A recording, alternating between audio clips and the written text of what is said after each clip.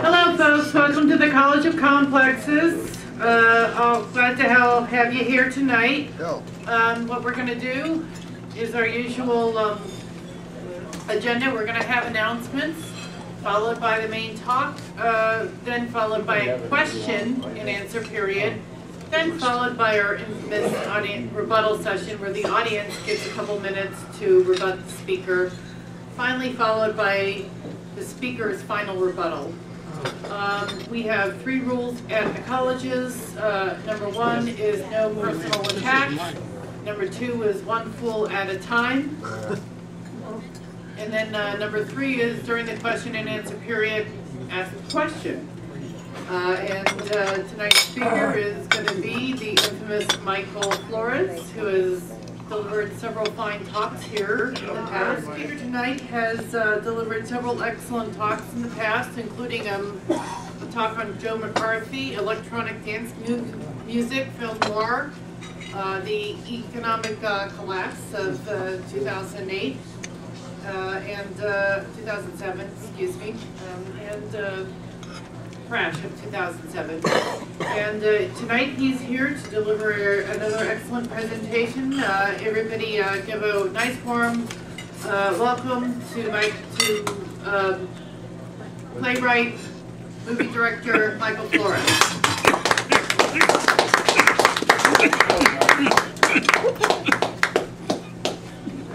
Thanks, Karina.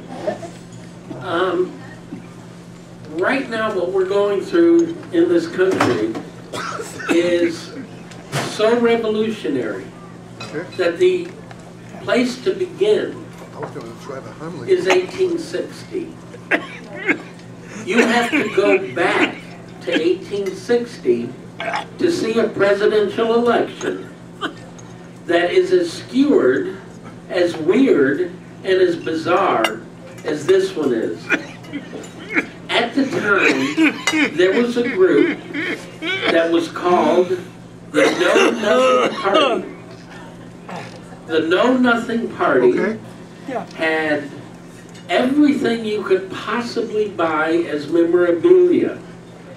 So their materials are now highly collectible amongst people who collect presidential mementos. If they had had t-shirts, they would have had t-shirts. The Know Nothing Party grew out of an anguish and anger that the American people had at the time. The lobbyists who had been unleashed the second term of Thomas uh, Jefferson's presidency were now fine-tuning their work, and everyone felt no matter what they did, the lobbyists were the ones that would have the most control. Abraham Lincoln was the most hated person to ever run for president. Believe it or not, there were some states where Lincoln did not receive even one vote. Think about that for a second. An entire state and no one voted for Abe. With the know-nothings in the mix, when he became president, he only had forty percent of the vote. Okay? So he was not riding a crest of support. The newspapers, from the New York Times on, hated him openly and attacked him openly. Now you have to remember that in that time period, if you were upper middle class or a rich person, you did not use the N word, okay? That was considered low class, white working class, or what they called back then, white trash, to even say it. Lincoln loved jokes that had the N word, and he said them openly. And newspapers like the New York Times really hated him for that. So when Lincoln was running, he was torn apart in the newspapers. There were entire states that did not vote for him. And the American people thought that the lobbyists were now in charge of the country, not them. What ended up happening was the Whigs had fallen apart and become part of the Republican Party. Lincoln was actually a Whig, not a Republican. He believed that corporations should unite with the government to make decisions. His major fundraisers were with the railroad companies. He had broken treaty after treaty once he became president with the Indians. Uh, you call them Native Americans, but as Russell Means points out, anyone born in America is a Native American. They were American Indians, who, by the way, most of the six major tribes would join the Confederacy to fight Lincoln. Why? Because the Confederates said, we will honor every treaty Lincoln has broken. And he broke all of them. He even did a mass hanging of Indians. Over 30 Indians were hanged at once. And it was, it was an insane period. The federal government was almost dead in the water. It was unable to move quick enough to deal with issues like slavery. The courts were too slow, and people were angry. Does all of this start to sound familiar? 1860, we have to go back that far to understand what is happening right now in America. Now, narcissism is a funny thing. Psychiatrists tried to make narcissism a mental illness, but they stopped. They withdrew that. Why? Because someone realized that narcissistic people included doctors, high-priced lawyers, artists, musicians, lead singers. You get the idea. We couldn't call narcissism a mental illness because there's too many people who achieve beyond most of us who do so because they are narcissists. Delusional people could be defined as narcissists who feel that way for no reason. They have written no book or play, but pretend they have or are about to. They feel entitled, though their history is a laundry list of failure. They walk among the accomplished as if they have accomplished something, though they have not. They lie with great ease, telling themselves it is for expediency when they lie. You know, I was dehydrated. In this election, we have in one corner a delusional narcissist.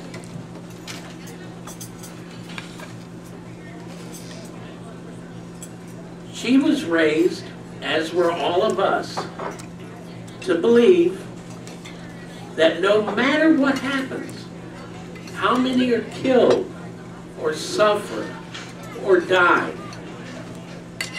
progress was the result. One million dead Southern citizens was worth it because we got the Union. No one asks, was the union worth it?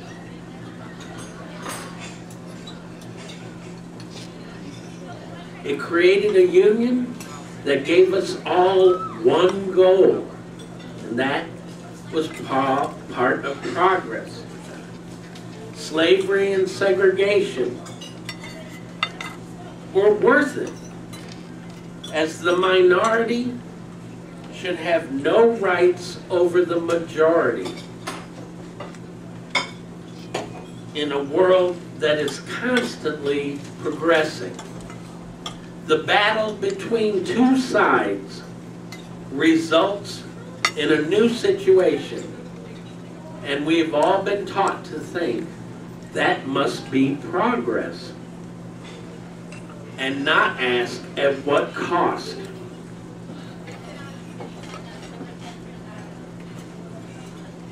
Hillary's record as head of the State Department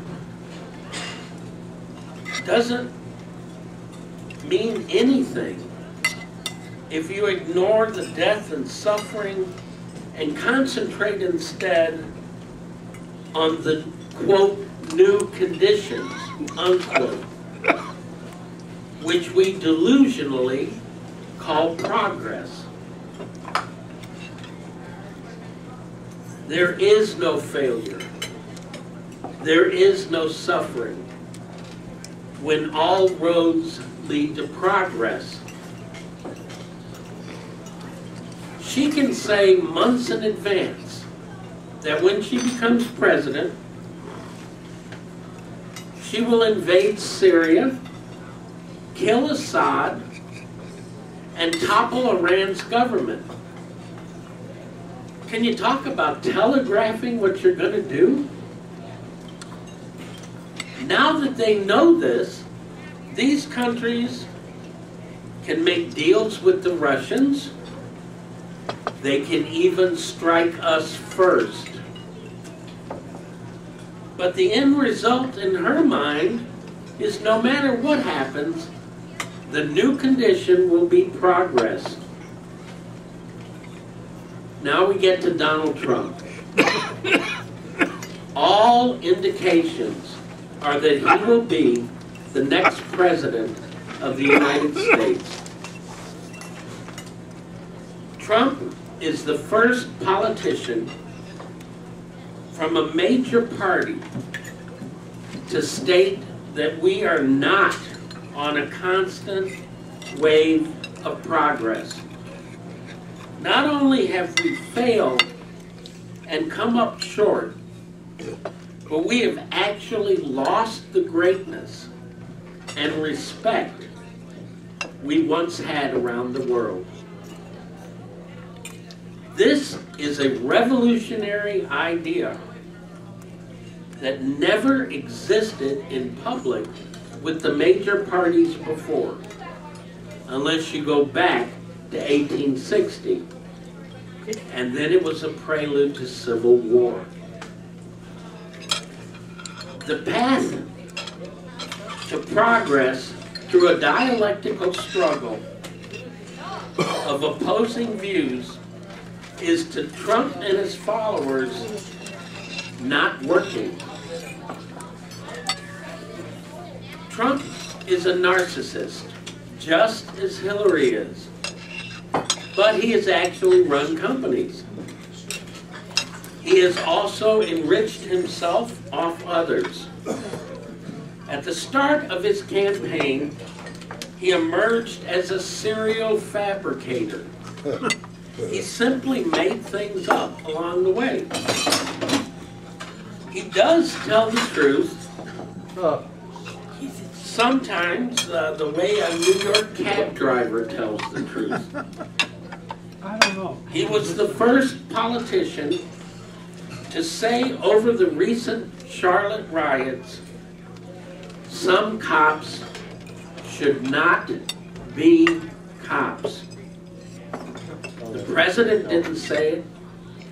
In fact, when he sent an investigating team to Chicago to look at Chicago's police force, he made it very clear no policeman would be fired. Hillary says nothing at all. Although we do know now from WikiLeaks that she and Soros want to have a national police force that will sit on top of the local police force. Nobody would be fired, so nobody loses votes. But I can only imagine the mess that would be created if there was a national police force over the local police department. It is Trump's common sense that keeps increasing his support. Saying some cops should not be cops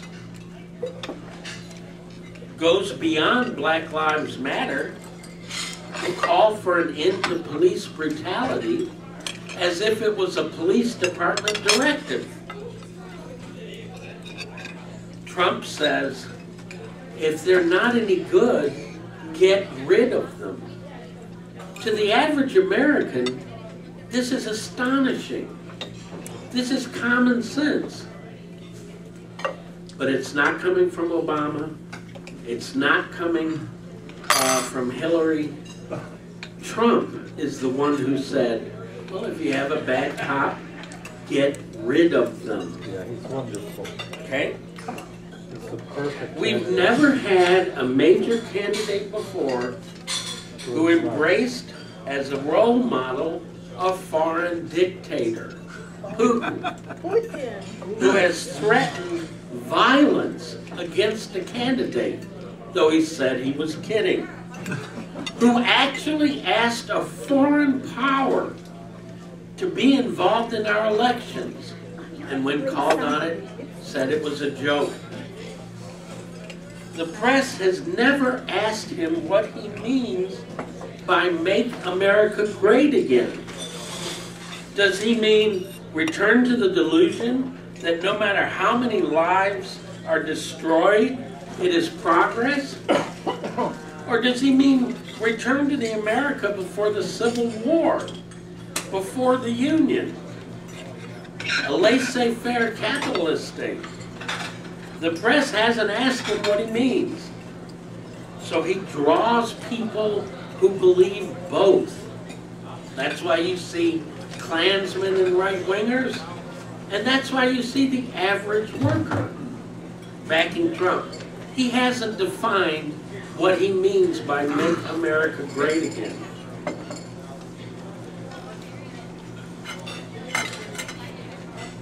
Which also shows how charismatic he is, I want to add. And he is charismatic. Hillary is not charismatic. What the press did do was destroy their credibility beyond recovery.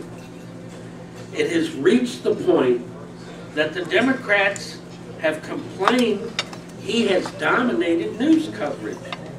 But what they don't say is, it has almost all been negative. Yes, Trump has more articles about him than Hillary, but almost all of them are negative. None of it, by the way, has worked to stop him. The press began by comparing him to Hitler, which is ridiculous. The Tea Party is not the SS.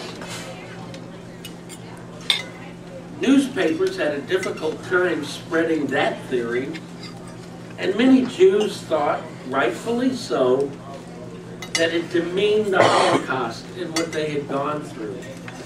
So the press backed off. They had to find another way to attack him. The New York Times decided to attack him by comparing him to Joe McCarthy.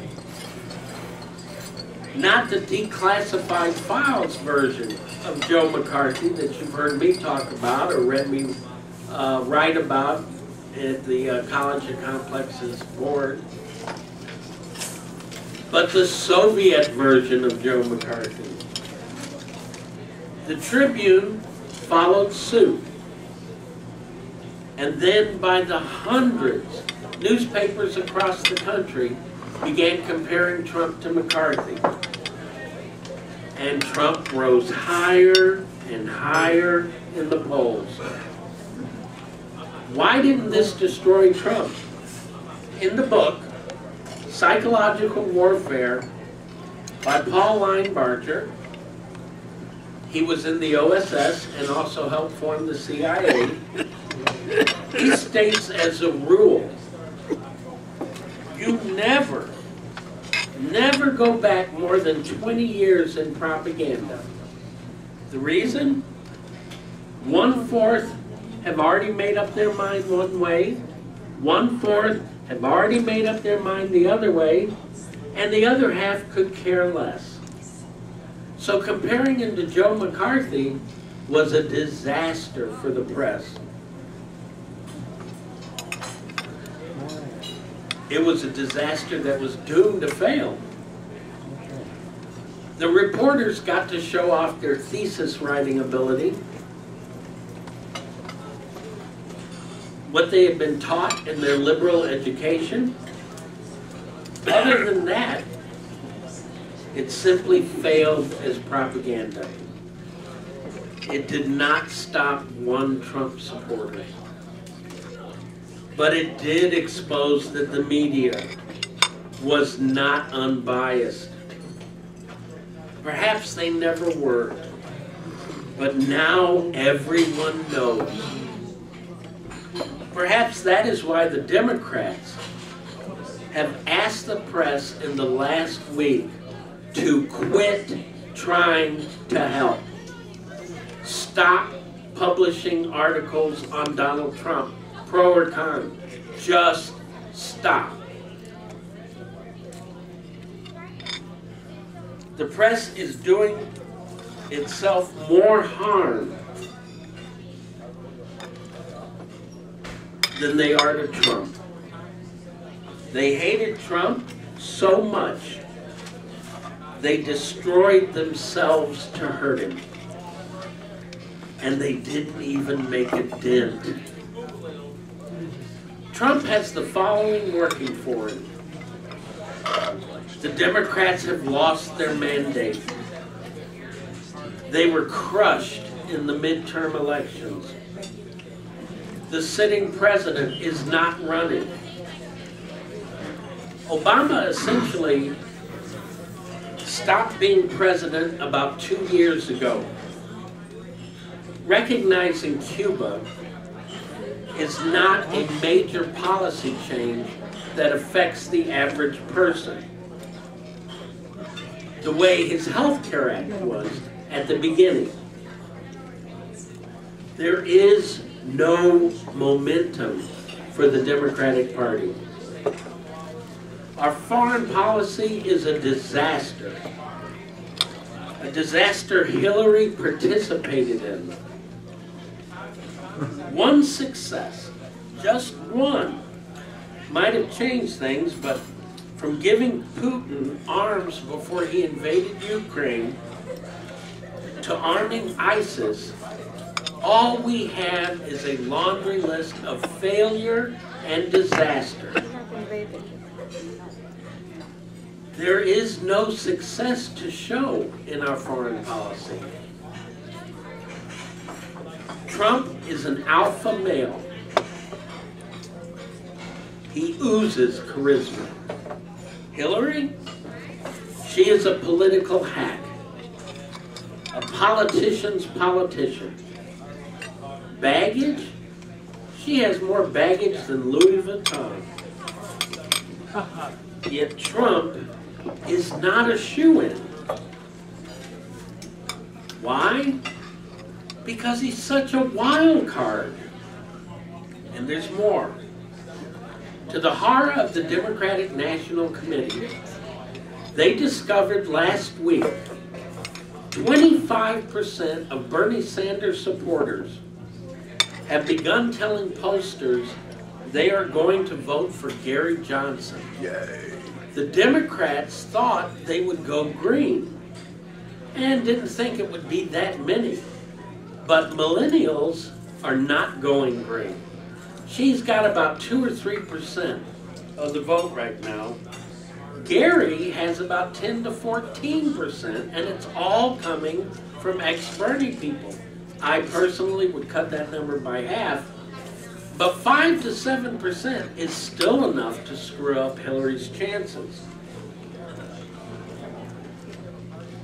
But in an election where a non-politician is dead even with a career politician, anything can happen. And then we got another wild card, something they didn't have in 1860. WikiLeaks. Never have we faced anything like WikiLeaks before. It has been a long time since American newspapers and the news media have done investigative journalism. WikiLeaks filled the gap. Julian Assange has not been caught in a lie yet. Not one. Therefore, I have no reason to disbelieve him when he says in October he is releasing devastating news on Hillary. The Democrats have tried to counter this in three ways. First, they claimed all of the information he had is false. But how do they know until it's released? Second, they claim that there's a malware virus that is going to be released with all of the WikiLeaks documents. How would they know this until the documents came out? Why would WikiLeaks release a virus? Third, they tried to make a deal with Donald Trump and asked him not to bring up anything from the coming WikiLeaks exposés. Trump is not a politician. He's got no record. He has no record. Why should he make a deal like that? He knows they're not going to release anything that damages him. October is coming, my friends.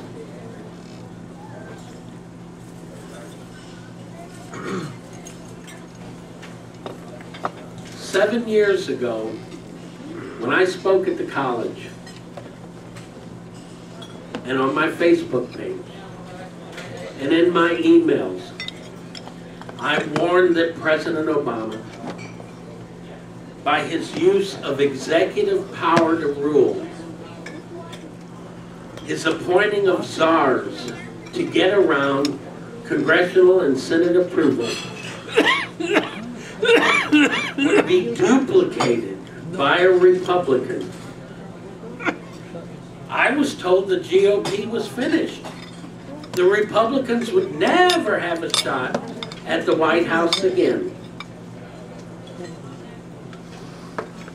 Today, it is poised for a national victory that could make it the dominant party of the 21st century. Which part? Maybe you guys were wrong in thinking the Republicans would never have a chance to use executive orders the way Obama has. But now payback is going to be a bitch. The end of the dialectical approach to history that dominated our intelligentsia from the 1830s on is long overdue. I'm sure people realized in the Soviet Union that dream was dead long before Poland, long before the fall of the Berlin Wall. The people just didn't believe it anymore. They no longer believed it was okay to wipe out farmers, to wipe out dissidents, because in the end, it's all progress. And it's happening here as well.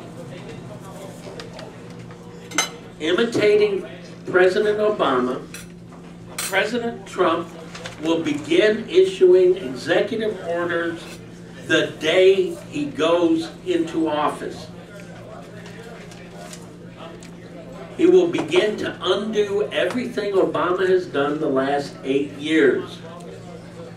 Ronald Reagan, in his first month of office, deregulated energy prices. So he issued one executive order in one month. Donald Trump, I predict, in his first week in office, will issue 25 or more executive orders. He will begin within minutes after he's taken over. President Obama, by choosing to rule by executive order, has handed Trump a weapon. Trump would not just make one or two. Let's start with gun restrictions. They're going to be lifted. The Syrian refugee program definitely will be ended. The Keystone Pipeline will be back in the news. Eric Posner is a lawyer, is a law professor at the University of Chicago. He says that our checks and balances, just as they were in 1860, have never been as weak in modern times as they are now. Congress has delegated much of the responsibility to the president. The courts are too slow to act to stop a President Trump.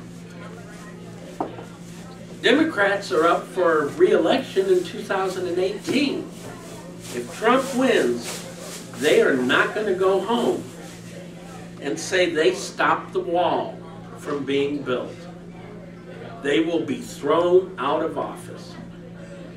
They're going to fall in line and they're going to go for the wall. How can Trump send back illegals? Most illegals want their tax refund. They have stupidly put their home address on their tax returns. They're going to be real easy to find.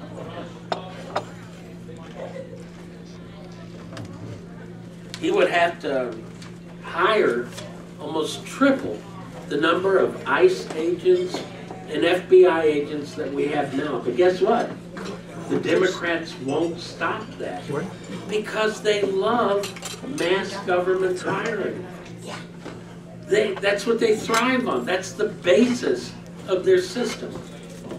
So when he doubles or triples the size of the FBI and ICE, they will not complain. On June 28th of this year, I emailed the following to the College of Complexes board that they have to my emails and also on my Facebook page. If nothing else, Donald Trump's rise to political prominence proves that the king of comedy, Martin Scorsese, Martin Scorsese's masterful film, his disquieting 1983 black comedy, is more relevant today than ever before.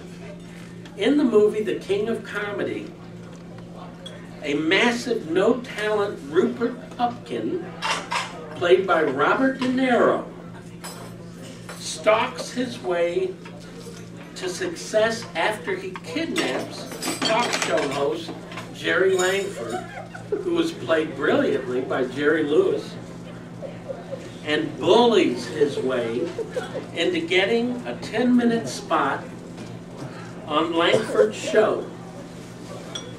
Pupkins is a uniquely media-obsessed megalomaniac. His lack of talent is irrelevant. He succeeds because he cannot process rejection. And he is successful at pushing buttons. That's who Trump is. He's Rupert from the movie The King of Comedy. He's not McCarthy. He's not Hitler. He's a bully that has forced his way in and knows how to push the buttons to get people to listen to him. Now, I want to close before we start the questions and answers by saying that I do think we may have a chance. He may turn out to be just a one-term president.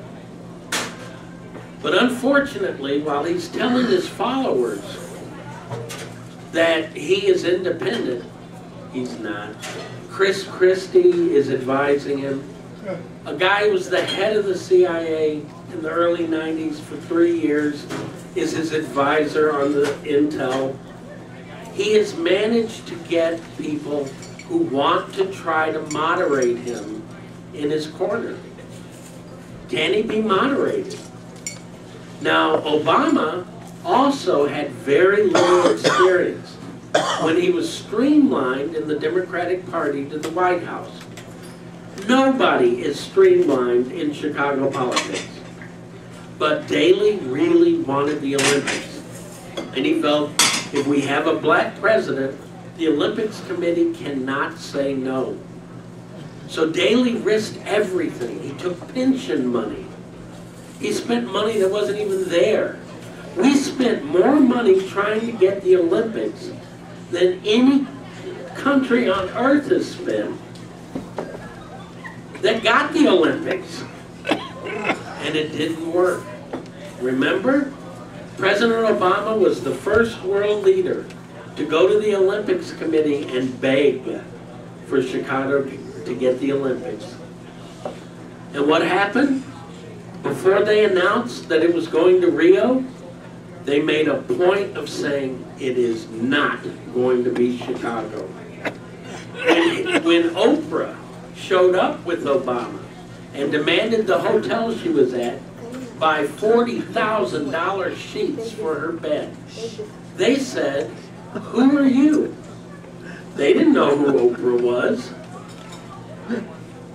It didn't work. Now, in the last two years, as I said earlier, I don't even think Obama's been there. I think he has been basically running for the head of the UN. He has not been our president. He let the ball drop. He's not providing leadership. When he was in the Senate, he only put his name on two bills. And they weren't even bills he wrote. In the same time period, Rand Paul wrote and got passed 400 bills, nonpartisan. Nonpartisan. Obama found a quick way to rule oh, without having to deal with the politics. He would just issue executive orders. But as I said seven years ago from the same microphone, if you do that, the Republicans can do the same. And now that is exactly what we're faced with. I want to thank you for hearing me out, and I'd love to hear your questions. Thank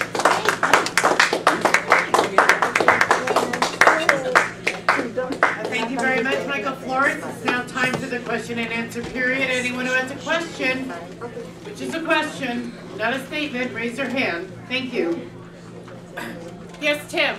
I honestly want to think, what do you think about yourself about the Libertarian candidates, Bill Johnson, I'm sorry, Gary Gary Johnson Johnson. and William Weld? And what do you think are their, honestly, are their chances of winning? And do you think possibly that if they got into the debates, it might make a difference? Okay, um, the question was, what do I think about the Libertarian candidates? If they got into the debates, would it make a difference? Um, first off, I cannot vote for Donald Trump. I cannot vote for Hillary Clinton. It's just not going to happen. Um, I still have a few morals left. I didn't leave them all at the strip club.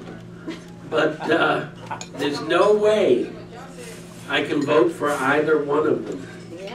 However, I live in Chicago.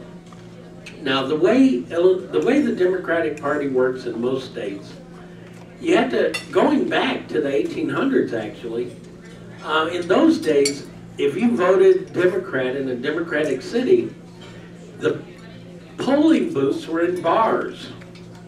So you went into the bar and you voted straight Democratic ticket. They gave you 50 cents, which was a lot of money back then, and the address of the next place to go vote. So that by the time that you got through voting for the day, you were drunk and you had a, a pocket full of money, and then you went to the precinct captain or the alderman's party. So that was how they bribed people there. There are 350,000 government workers in Illinois. That's 350,000 votes. They have spouses. That's 700,000 votes. They have a person who depends on that money. That's 1.2 million votes that are going to vote. They would have voted for Trump if he was a Democrat and said every single thing that he has said. Well, please. Um, and said every single thing that Trump has said. It wouldn't have mattered. Charles would have voted for Trump. Don't doubt it for a minute. Not a problem if he had been a Democrat. So in Chicago and in Illinois, Cook County is never going Republican. Any vote you do outside of the Democratic Party, whether you vote for Trump or Libertarian or Green Party, you're not voting to win. You're voting your conscience. I was very lucky as a kid. I grew up when a man by the name of Barry Goldwater said that he was opposed to the Vietnam War. At the time, there were no demonstrations against the war. There were no marches. There were no protests. Barry Goldwater also said gays should be in the military. There were no gay rights parades. There were no gay demonstrations. There was no gay movement. But Barry Goldwater said, there's no reason that gays can't have the same rights everyone else had. In 1960, he lost. But you know what happened? After the Pentagon Papers came out, he starts showing up on TV shows like the Dean Martin Show as a guest.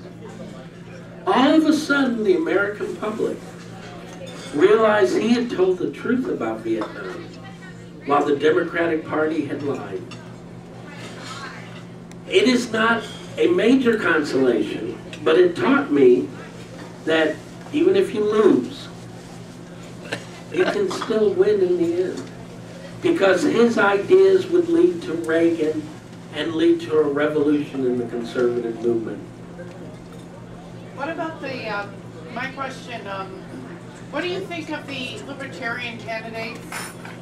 I'm voting for Gary Johnson. What do you think Gary Johnson?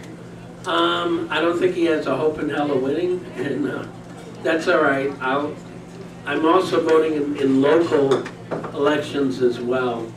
What do you think of William Weld, Bill Weld? Nothing really. And I mean, like I, uh, there's a lot of things Gary Johnson says that I don't agree with. Um, but um, like I said, I can't support Trump or Hillary. How does the fact that uh, neither Libertarian or Green Party will take, uh, will participate in the debates, how, does that affect their chances or not?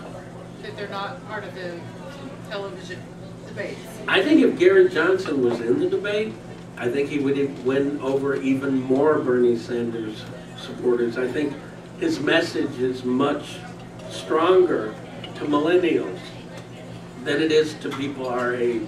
Oh, when he says uh, there's too many poor people in prison for pot. And that pot isn't as bad as the legal drugs we see advertised on TV that cause homicidal, suicidal, incredible things that are legal that the government has approved. I still think the reason more and more Americans today support legalizing pot is that you cut on the TV and there's an ad with a girl on a hill. And then the voiceover comes in. This drug may cause suicidal or homicidal effects. Did anybody ever say that about pot? I think if Gary Johnson was in the race, uh, or in the debates, I think he would win over more millennials. But um, the, the thing is, it isn't that Gary Johnson was the bad candidate. It isn't that Trump was the bad candidate. Obviously, Hillary was the bad candidate. How can a person who's been there that long be dead even at this point with a person who doesn't even know how to write a bill? Okay. Uh, Elaine, Ilana, Uh, okay, I don't want to be, um, okay. Who told you Putin was invaded uh, uh, Crimea? Who told you Putin invaded Crimea? He not invaded Crimea. who It was told you that Putin invaded Crimea? It was gift. Uh, What, what A gift? yeah, it was what- gift No, it was Ukraine. from Khrushchev. Khrushchev, it was gift. Excuse, this is a question. Mike, the question is, who told you that Putin invaded Crimea? Yeah. You didn't know he invaded, you didn't know Russia invaded No, he's Crimea? not invaded. Well, What do you call rolling tank? Yeah, it, are you, do you mean belongs like, to What do you call that, a It was parade? belong to Russia. It That's was nuts. to Russia. You mean Ukraine? Yeah, I mean, uh, Crimea, you know, Crimea. Crimea. Fourth of July parade? okay, um, It was belong to Russia. when the snipers were firing on the protesters in Ukraine, they were using Russian rifles. And I spotted that right away. They were using Russian rifles. That, then we get into a problem with Hillary. When Hillary met with Putin before the invasion of Ukraine, for reasons no one understands, she gave him millions of dollars worth of weapons. Gave him millions of dollars worth of weapons. doesn't need it. And he sold her. Where you have this She, it's, if you're on the laptop, you can look it up. She sold him weapons at below cost. And there's pictures of her smiling with Putin. Within 90 days, he was putting troops along the border of Ukraine. I don't know what she was doing or why she did that, but it ended up being a disaster, one of her many disasters. all right, yes, sir. Uh, you have any idea what will be in the upcoming WikiLeaks stuff? Well, there's all kinds, yeah, the uh, question is, do I have any idea what's gonna be in the upcoming WikiLeaks stuff? All I know for sure is what Julian Assange has basically said, which is that it will definitely prove that Hillary has been involved in the illegal activities. And that's all he said. And they, they are indictable. Sir? Do, do you think George Soros is using the Democratic Party to destroy the American middle class?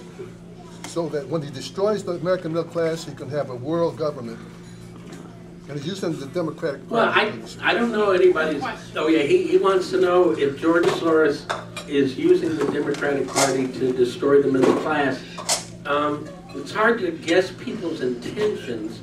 Uh, however, when the email was released by WikiLeaks that stated that he and Hillary both supported having a national police force, I think they used to call that Gestapo, didn't they?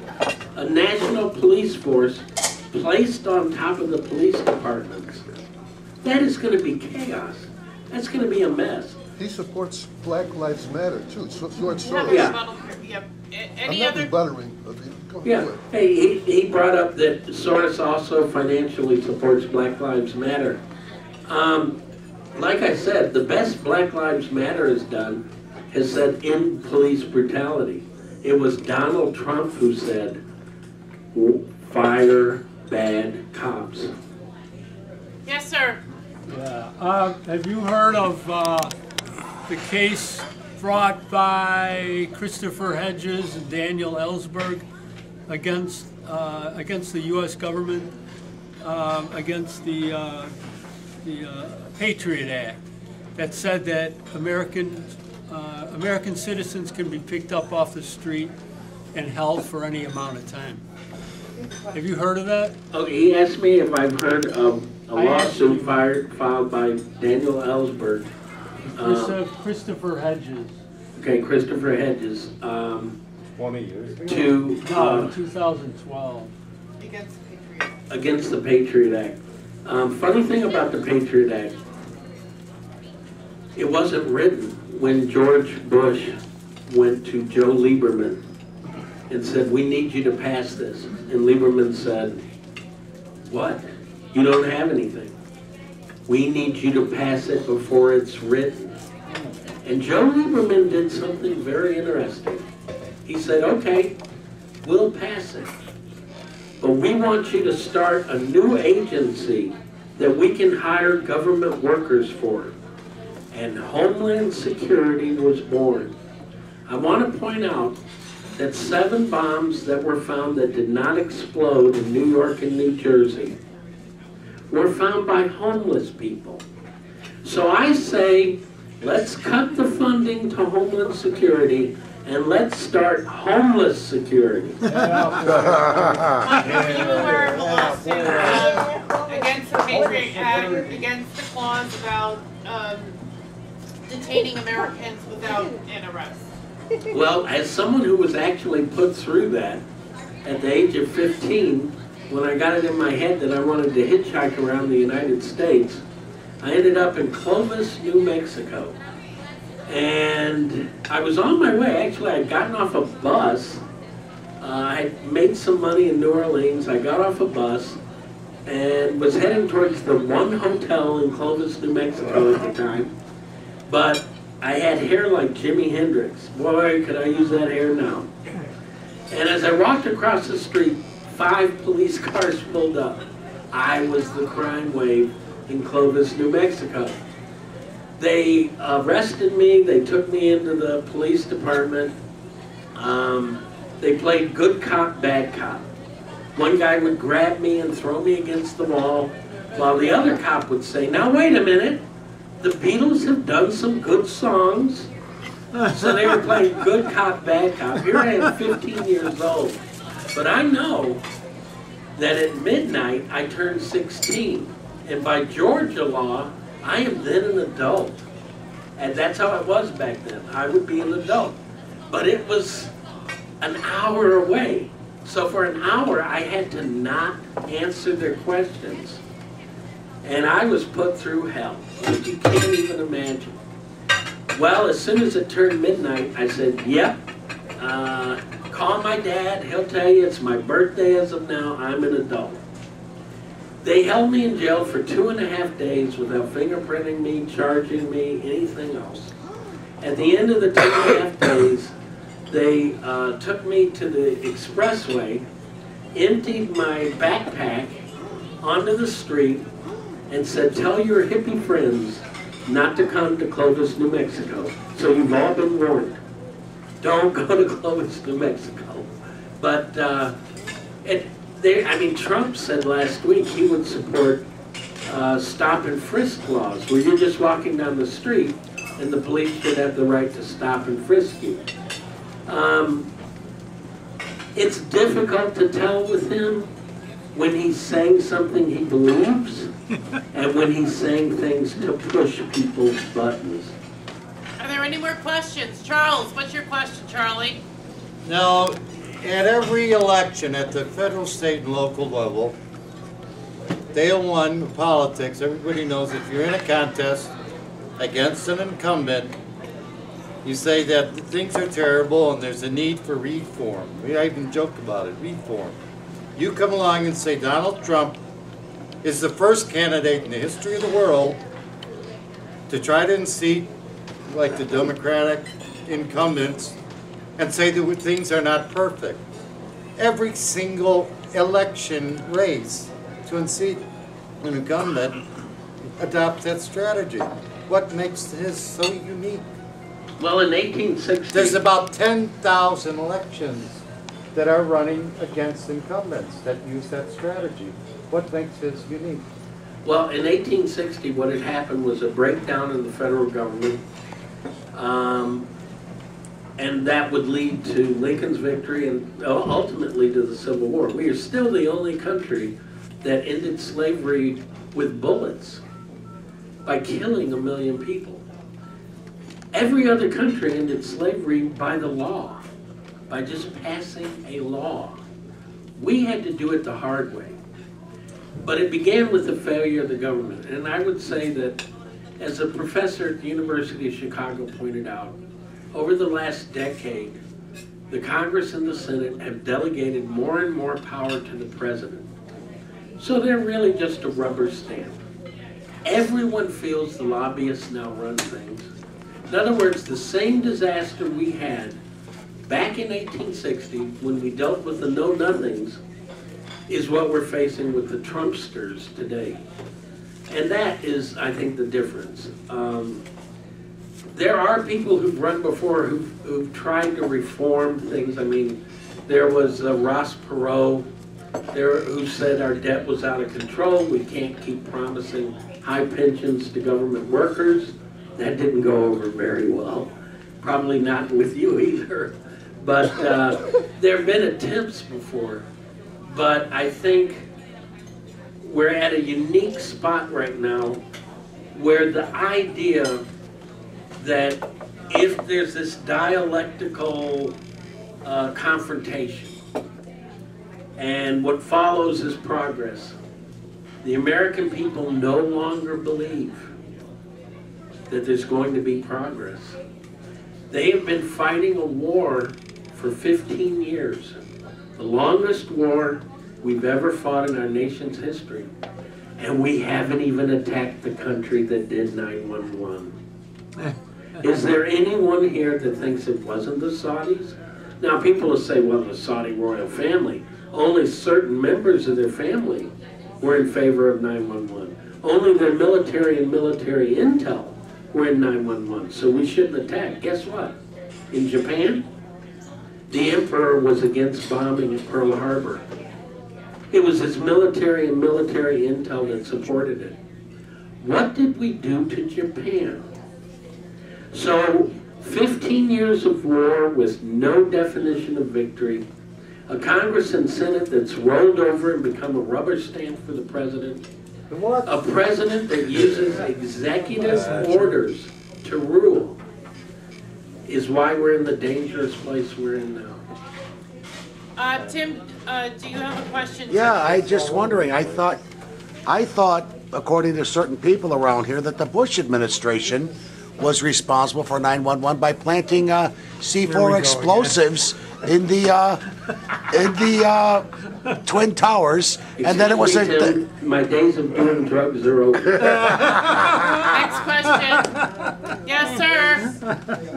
Yeah, no matter, you said you wouldn't vote for any of them, so I think that's good for this question.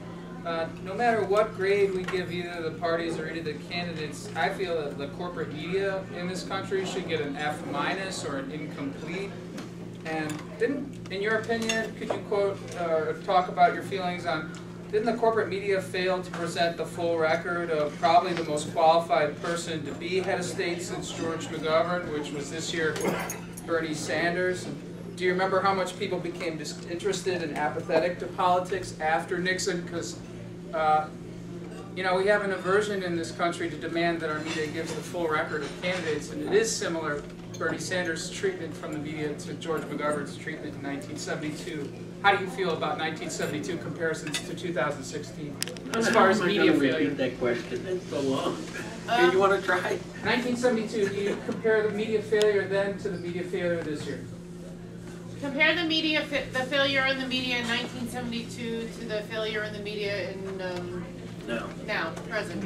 Um, well, I'm not sure I would say that in 1972 we had a failure of the media. The media was um, a lot of the press at that time had already turned against the war. They had turned against the war at the Tet Offensive. Um, Walter Cronkite uh, famously went on television in 1968 and said that the war was not going to be won and it was a mistake. But we were still there for six years. It still dragged on for six years. Then you had the Pentagon Papers come out. And the press did cover the Pentagon Papers, which revealed that the military, the CIA, and military intel had known for years the war could not be won. Had told the presidents, who all ignored him. Um, I don't, I think the media tried to stop Trump, but they did it in such a bad, inept way. If you go after Trump, but you don't bring up Hillary's record, it's suspect. If you don't talk about the mistakes she's made, it's suspect. They went after Trump, they accused him of being Hitler, they accused him of being McCarthy, but it didn't work. It didn't work. Did the media, did the media fail to cover Bernie Sanders uh, accurately? Um, Bernie Sanders was also a wild card. The Democratic National Committee, we now know, wanted nothing to do with it. They hated him. Um, so you had the mainstream Democrats who were against Bernie. You know, funny thing is, the last poll I read a month ago, maybe it's changed since then, but the last poll I read a month ago, Bernie would be clobbering Trump almost three to one. He would be crushing Trump almost three to one. But he doesn't support the wars. He doesn't support giving money to the defense industry. Now, I'm going to tell you something that you can look up. Uh, look up Eisenhower's speech on Wikipedia about the military-industrial complex because in the original speech, he said the alliance of the Democratic Party with the military-industrial complex would eventually lead to disaster. The Republican Party told him to drop the part about the Democratic Party. Remember, a few years after he says this, the Democrats are pouring troops, money, weapons into Vietnam. Okay?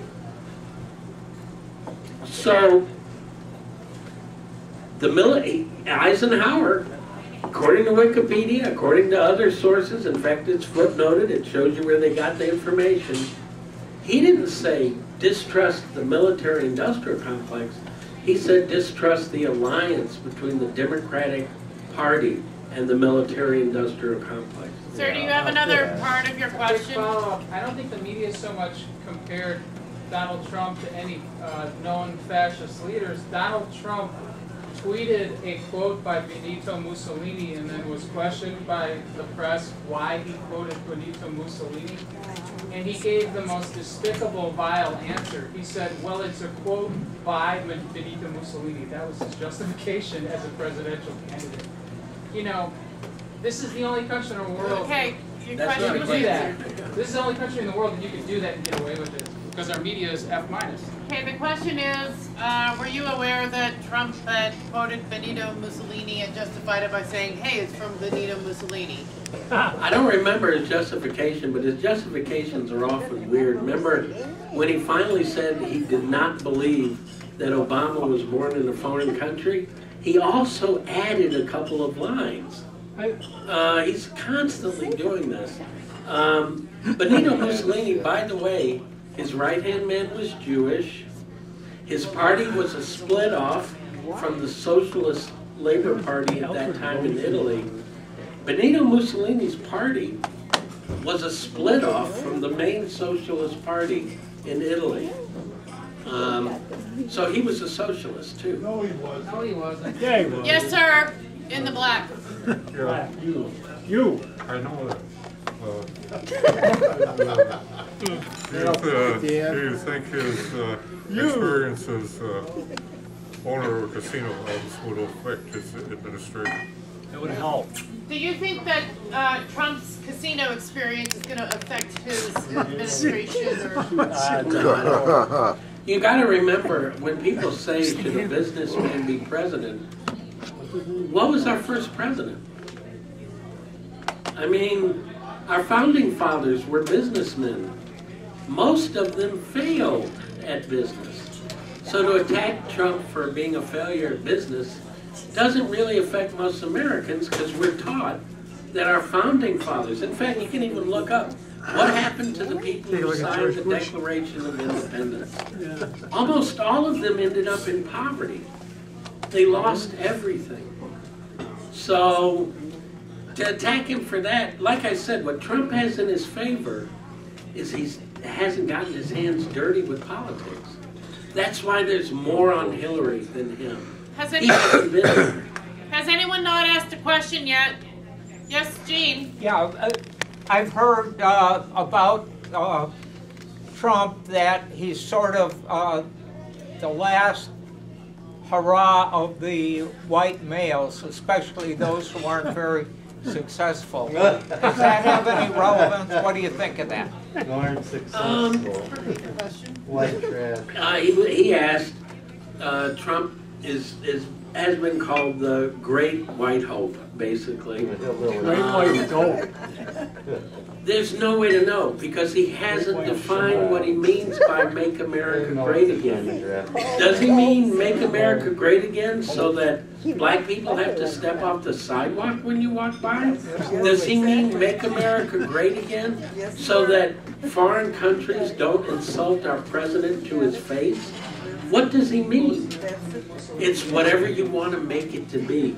And I think part of that is his star quality. Donald Trump has star quality. What's star quality? It's an audience watching Mick Jagger on stage and imagining what it would be like to meet him. Imagining what it would be like to talk to him. What a star does is a star triggers that in Yeah, you yeah. I know. so that you wonder what would it be like to have a drink with Humphrey Bogart, with Frank Sinatra, with these people. Oh. Donald Trump has charisma, he has star quality, he is an alpha male. There have not been alpha males in our government in a very long time. And I think it's him. Um, is this, Thank you. are we I about, think rebuttal time. wait, are, are we near the decline? Yeah, one more question. We got Are we plenty near of the time. decline of the, the power of the white American Karina. male? Karina. No, actually, I think we're not, first of all, America is still the greatest power on earth. For all of our complaints, America, oh yeah, I got news for you, buddy. With the Chinese banking system burps, we're going down. And they have been building cities that no one lives in in order to give people work. Those cities are going to eventually undo China. Um, but what we are actually seeing is the end of the elites, the end of the professionals, the end of the experts. This should have happened, I believe, as a result of the Vietnam War. At the end of the Vietnam War, the experts, the brains, the elites had gotten us in and didn't know how to get us out. Okay? We should have started questioning them then. Today, I'd say it's not the white race that's threatened, it's not the black race that's threatened, but it is the end of the professionals, the experts, the talking heads. The newspapers did it to themselves when they went after Trump and compared him to everyone from Hitler to McCarthy instead of going after what he was saying and instead of pointing out Hillary's problems as well, which would have meant supporting Bernie, basically. Does anyone else have a first time question? Do- nobody who hasn't asked a question has a question? Okay, uh, how many, raise your hand if you have question or, or gonna wanna ask another question. Okay, so I'm gonna mark that as three questions left. Then, What time is it? Seven thirty. Sorry. Karina, then her question. Yeah, and he had already asked a question, but you can, okay. Sorry. Dan, what's your question? My question is, where did you, where did you find that the New York Times did not endorse Lincoln? Because I just looked on the computer and, and it said, the it had the 1860 editorial from the New York Times and they endorsed Lincoln. So I, where did you Oh, see it? Well, Did you see it on your computer? No, the articles that I had read What were, fucking? I, and, um, Yeah, I may have misread it as being an endorsement, uh, but the articles that I had read were attacks on Lincoln. And most of the press were attacks on Lincoln. And, uh, okay. I'm trying to think of, the, there's a book that just came out that is the first book in the history of studying Lincoln about what the attitudes were towards Lincoln at the time. Now, they changed after he died. And part of the reason that it changed after he died um, was that Americans thought assassination was wrong, even if you were Confederate fighting the North. Uh, and that elevated Lincoln's standing greatly when he was assassinated. Uh, but before that, he never got more than 40% of the vote. During his reelection, he would have lost uh, to McClellan, McClellan, the general uh, who advocated going to the Supreme Court to end slavery. Um, except that in Chicago, Boston, New York, and other cities, federal troops stopped Democrats from voting. So we'll never know how that reelection would have actually turned out if they, if the Democrats had been allowed to vote. When his vice president took over after the assassination, the first thing he did was try to undo um, the end of slavery. And of course, it was only within a few years that the Democrats were able to do that with segregation. Uh, questions, uh, yes, Charlie? Yeah, um, you have long said Joe Tail Gunner Joe McCarthy was was appropriate in going after these communists who were posing a threat to the United States. And I guess you therefore think that Trump Trump is appropriate in going after these Muslims and these Mexicans, illegal Mexicans, who Well, are a threat to the United States. You feel that Trump is appropriate in thinking that way? Since My- my the last name- commies, you think getting commies was good, My last then name, getting Mexicans and Muslims Can you is please let good. him answer the question? my, Will you let me ask it? I have to repeat your question. First off, what Chuck said was uh, about Joe McCarthy. Um, I've read the declassified files, so I know he was correct. Uh, most people have not read the declassified files because they didn't come out until 2004. So if you've read anything about Joe McCarthy before 2004, you've basically read Soviet propaganda or propaganda against him.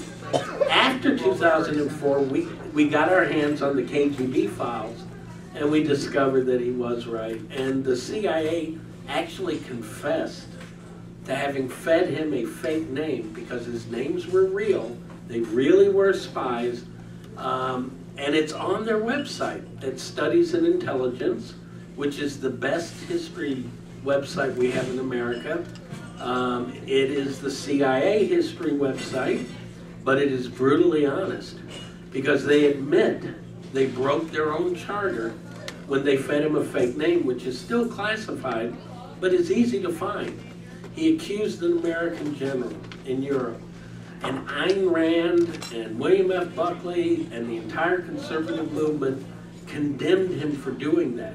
But they didn't know that the file he had been given was completely manufactured by the CIA to disgrace him just a matter of weeks before the Army hearings, uh, he was on his way to expose, he said he, he told the Dulles head of CIA, according to the CIA, that he was going to the Army, he was gonna go to the CIA, and then he was going to the Democrats in the White House, and why they had let so many spies in. And uh, the CIA was terrified because there were 200 Nazis who had worked with German intel, who we gave passports, money, and jobs to. Uh, some of them jobs in CIA. And then in the early 50s, we took this Nazi bureaucracy, which had created the Holocaust machine, and we put them in charge of West Germany. Now, he was asking something about, is that like Trump and Mexicans and Muslims? My last name is Flores. My dad uh, was born in this country when his father walked across the border with his mother and had him illegally in this country, which made him a citizen because he was born here. That was the rules then. So the way I look at immigration is probably not the way Chuck does, or Trump, or Hillary, or anyone else. The way I look at immigration is, there are people currently waiting five years, 10 years, 15 years to become citizens. They do everything by the book. They follow the rules. And then we have Mayor Rahm Emanuel say, if you can get by ICE, if you can sneak in and come to Chicago, we have 20,000 government jobs for you. Remember when he did that last year? We have 20,000 government jobs waiting for every illegal that can get here. If you were playing by the book, if you were following the rules, and you were told you have to wait 12 years to become a citizen, and here comes thousands of Syrians with no passports, with no ID, and how are you going to check it anyway? So it's okay But to no ID. marginalize, They the come question in. is, is it okay to marginalize a demographic? Yes or no? Is it okay to marginalize a demographic? Is it, uh, can you marginalize Is it a okay? group? I think the problem Like Joe with, did and his Trump I. Joe did not do that. He And, didn't. uh, I think the, the problem is our immigration system, like our courts, No, but. like our Senate rhetoric. and Congress, are broken. Obviously, they are broken. Is it okay for me to say that Mex- that everyone from Mexico is a murderer, rapist, uh, drug dealer? He didn't say that. Trump did. No, he didn't. He did. It's No, he did not. All countless counties are dangerous, all You look up the quote, that's not what he said. Said there are a few, Look up the quote. few of them. It's like saying the United States Okay, isn't in North actually, he, I'm sorry, sir, I don't know you're the guy in the green hat. What's his name? Dan Hi, Dan. Dan just nailed it. America. No. Yes, he did purpose. say that at the first couple of sentences, but his last sentence was not that, that there were some coming in who weren't. Now, we don't know who the Syrians are coming in. We don't know who the people from Yemen are coming in. Their children. Why do they get to jump to the head of the line over the people that have been waiting? Stuff them in the ocean. All right, questions? Uh, yes, sir. Black. Now, you drew parallels between the election of 1860 and this one. Will this one also lead to a civil war? Is this election gonna lead to a civil war? Well, it was a very different America back then, because whether you were someone who believed in Hegel and the dialectical approach to history, or whether you were a pioneer out west, you all had a gun. Today, progressives and liberals do not have guns. They don't? So I would say if you want to start a civil war, it'll be like shooting ducks in a barrel. All right, question please. Donald Trump has filed for corporate bankruptcy three times in his career. Ready. Donald Trump acquired his wealth from his father. How does that qualify him, in your opinion, to be what is, quote, a successful businessman with charisma? Well, I didn't say he was successful. Actually, Donald Trump has never filed for bankruptcy. What Donald Trump has done is actually, You don't do any research. One say fool don't at a time. Where, where are you living at? One Donald, fool at a time. Has actually sued publications who said that and won. Why? Because, do you know what he does? It's actually pretty crafty, and it is crafty. Within two weeks to a month, sometimes two months, before the business that he is in goes belly up, he sells his stuff and leaves. He's gone. The business, the uh, casino, the whatever, goes belly up. Okay? I didn't say that. I'm just telling you. He is gone. He is, he is gone before the bankruptcy happens. He's, he's done that over and over again. Is Donald Trump qualified to be president? Here's our point. Here's the people's point who aren't voting for him. Wait, you, you didn't listen, listen to his answer. I said, is Donald Trump qualified to be president? And you said, No. Of course not. But neither is Hillary. Why does he have charisma and star quality then? It's a mixed message. Sort of. The best you can say is sort of. Anything better than what you got. It's a mixed message All I say can a feel star right now is. I'm gonna go home and give up life. He's counting his are there any questions or are we headed towards rebuttal Let's session? head towards rebuttals. All right, uh, and one last, uh, hand for Mr. Flores. Thank you, Mike. And by the way, I would, as I said during my talk, You got a penny on it? I'm not a Trump supporter.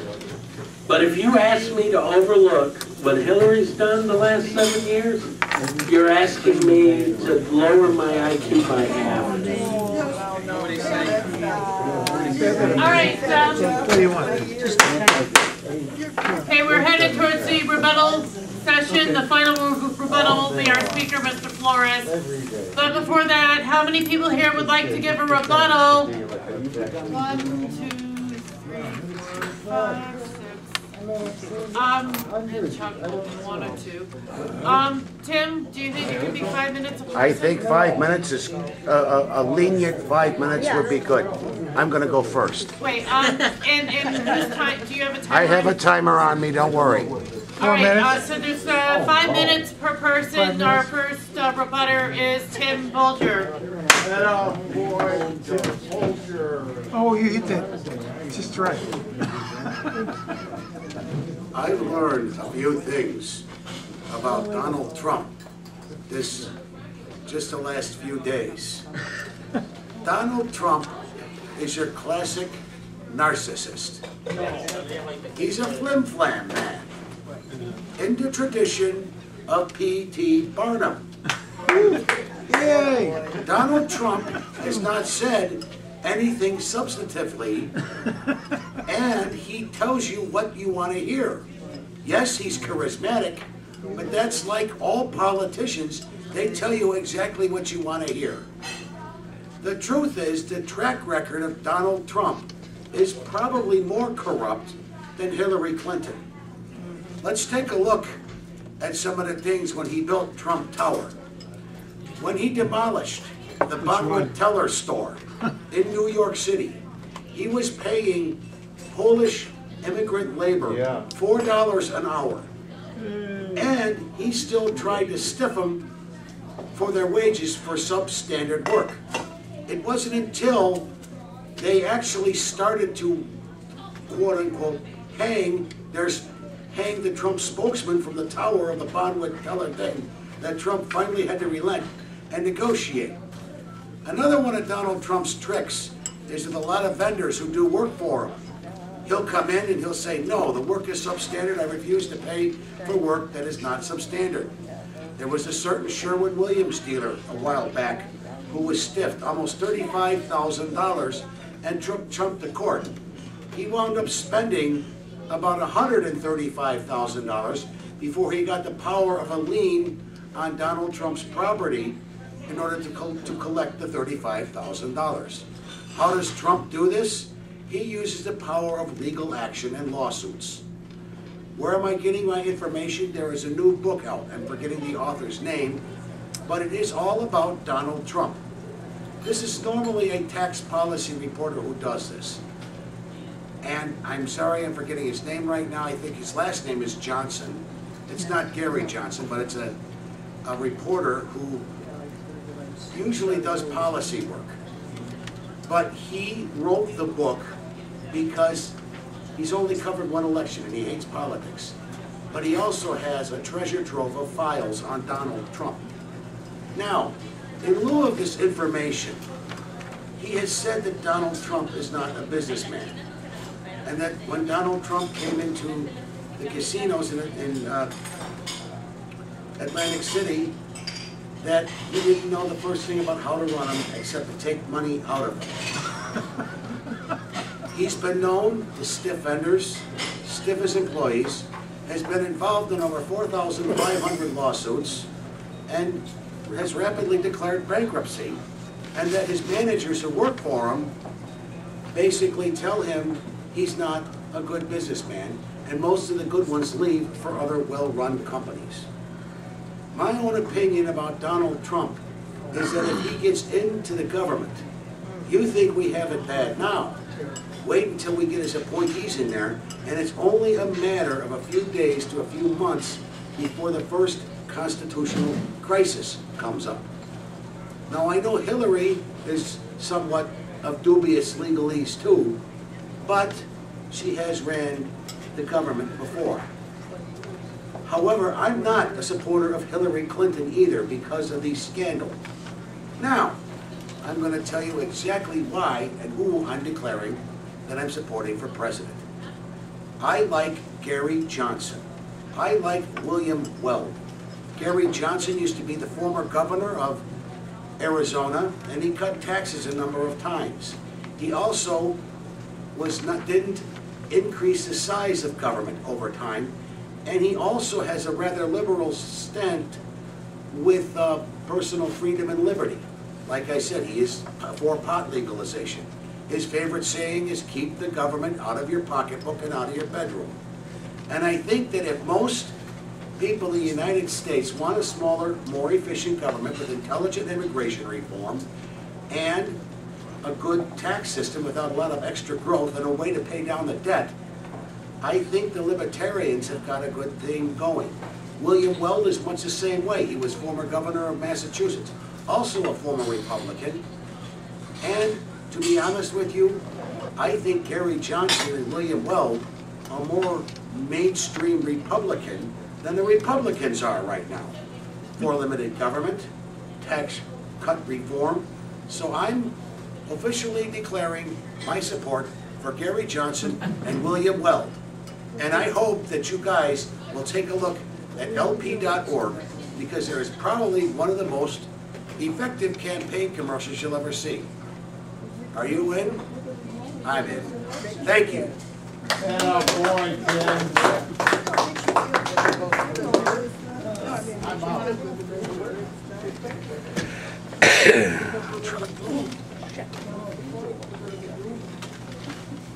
What are his chances?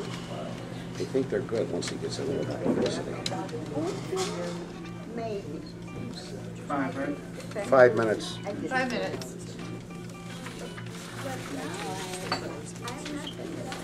One of the articles that I read recently, and this is how I receive my information. I, I go to the bookstore or the newsstand. Can you state your name? I don't watch CNN, and I don't watch Fox News, and I don't watch ABC, and I don't watch NBC, and I don't watch CBS because they lied to us about everything for the last 35 years. Do we have to go through this again, people? Reaganomics, trickle-down economy, everything since then has been a lie. Now, I know it's hard to imagine that Caesar would lie to common, everyday, working-class and middle-class families, but that's what's happened. It's not a failure on our part that we don't know what we don't know. It is a failure on our part when we know there are sources that can tell us what we do need to know. We continue to not go to them. It's called C-SPAN, Public Television, Democracy Now!, In These Times, Z Magazine, The Nation, Mother Jones, The Progressive Populist. It's out there, okay? You have to just want it bad enough for that extra hour a week to go find it. And that's an extra hour that I know people don't have. So I sympathize with people who don't have that extra hour. Uh, for those of us who realize that climate change could make this planet no longer have people on it in the next century, that extra hour is a small price to pay. I don't think Donald Trump has star power. I don't think he has charisma. I think that's what the media want us to believe, and they groom us to believe that because grandeurs of illusion in reality TV show America pass for charisma in 2016. And I think they want us to think he's a successful business person because three times filing for bankruptcy in the United States of America, inheriting your money from daddy and granddaddy, where was granddaddy's business in the northwest of the United States in the last century? It was houses of leisure, to use the more polite word. Which I'm not. That's where the wealth is from. So I understand you're not voting for either of them, but I think it's kind of mixed message when you say one of them is a superstar. One of the papers that I read is called the London Review of Books. And July 28, 2016, they had an article that said, You Could Have Picked by Elliot Weinberg. An excellent four-page article that talks about how basically the Republican Party is collapsing from within, and that's how they got a fascist. And I'm not afraid to call someone who quotes Benito Mussolini with pride a fascist, because that's what, in the McCarthy era, was commonplace. If you quoted Benito Mussolini, you didn't get a job, you couldn't buy a house, you couldn't buy a car, you couldn't go to school. That's what people who remembered World War II when their dad didn't come home, or their grandfather didn't come home, or their uncle didn't come home, because they were killed by fascists, thought about any American who would quote a fascist and then get popular and more rich from it.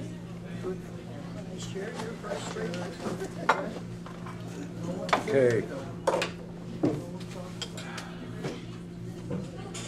Yeah, he has a record, he, or he has no record. He has a clear economic record. There are countless lawsuits against this guy for past wages due. Tim talked about it a little bit.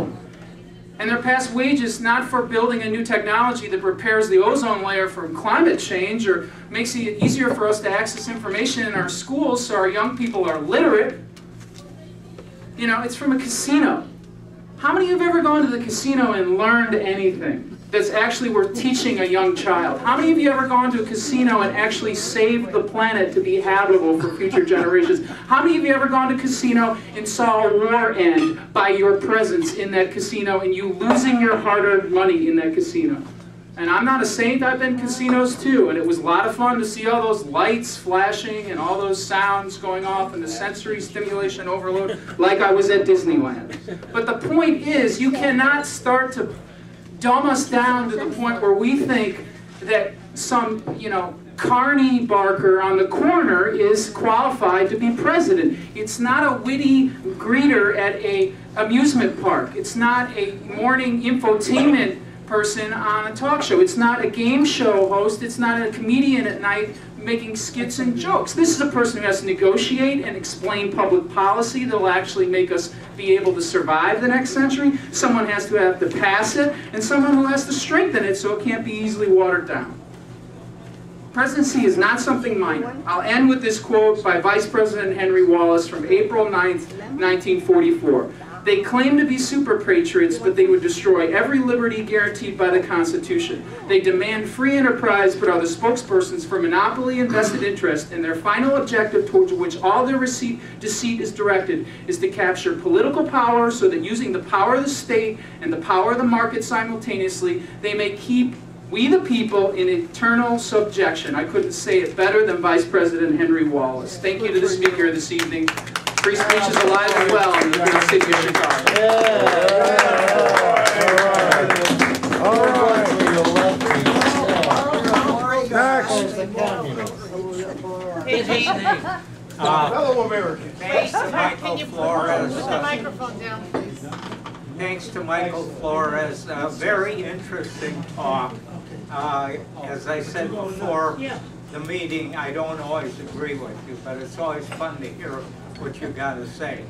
Uh, Here, uh, a couple years ago, I was recommended to a book called Why America Failed by Morris Berman.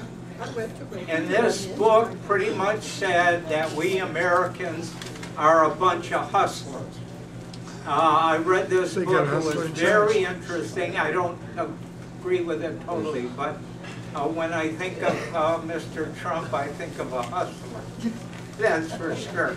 Anyway, this book, uh, Morris Berman himself does not believe in these values, but the val he says these are the American hustler values, technology, uh, progress, uh, corporations, and individualism. Um, Morris Berman believes in just the opposite. He believes in craft instead of technology. He believes in tradition rather than progress. Uh, he believes, in, instead of the corporation, he believes in the community. Instead of individualism, he believes in the family. He's a traditionalist. He left the country. He left the country. He he couldn't take it.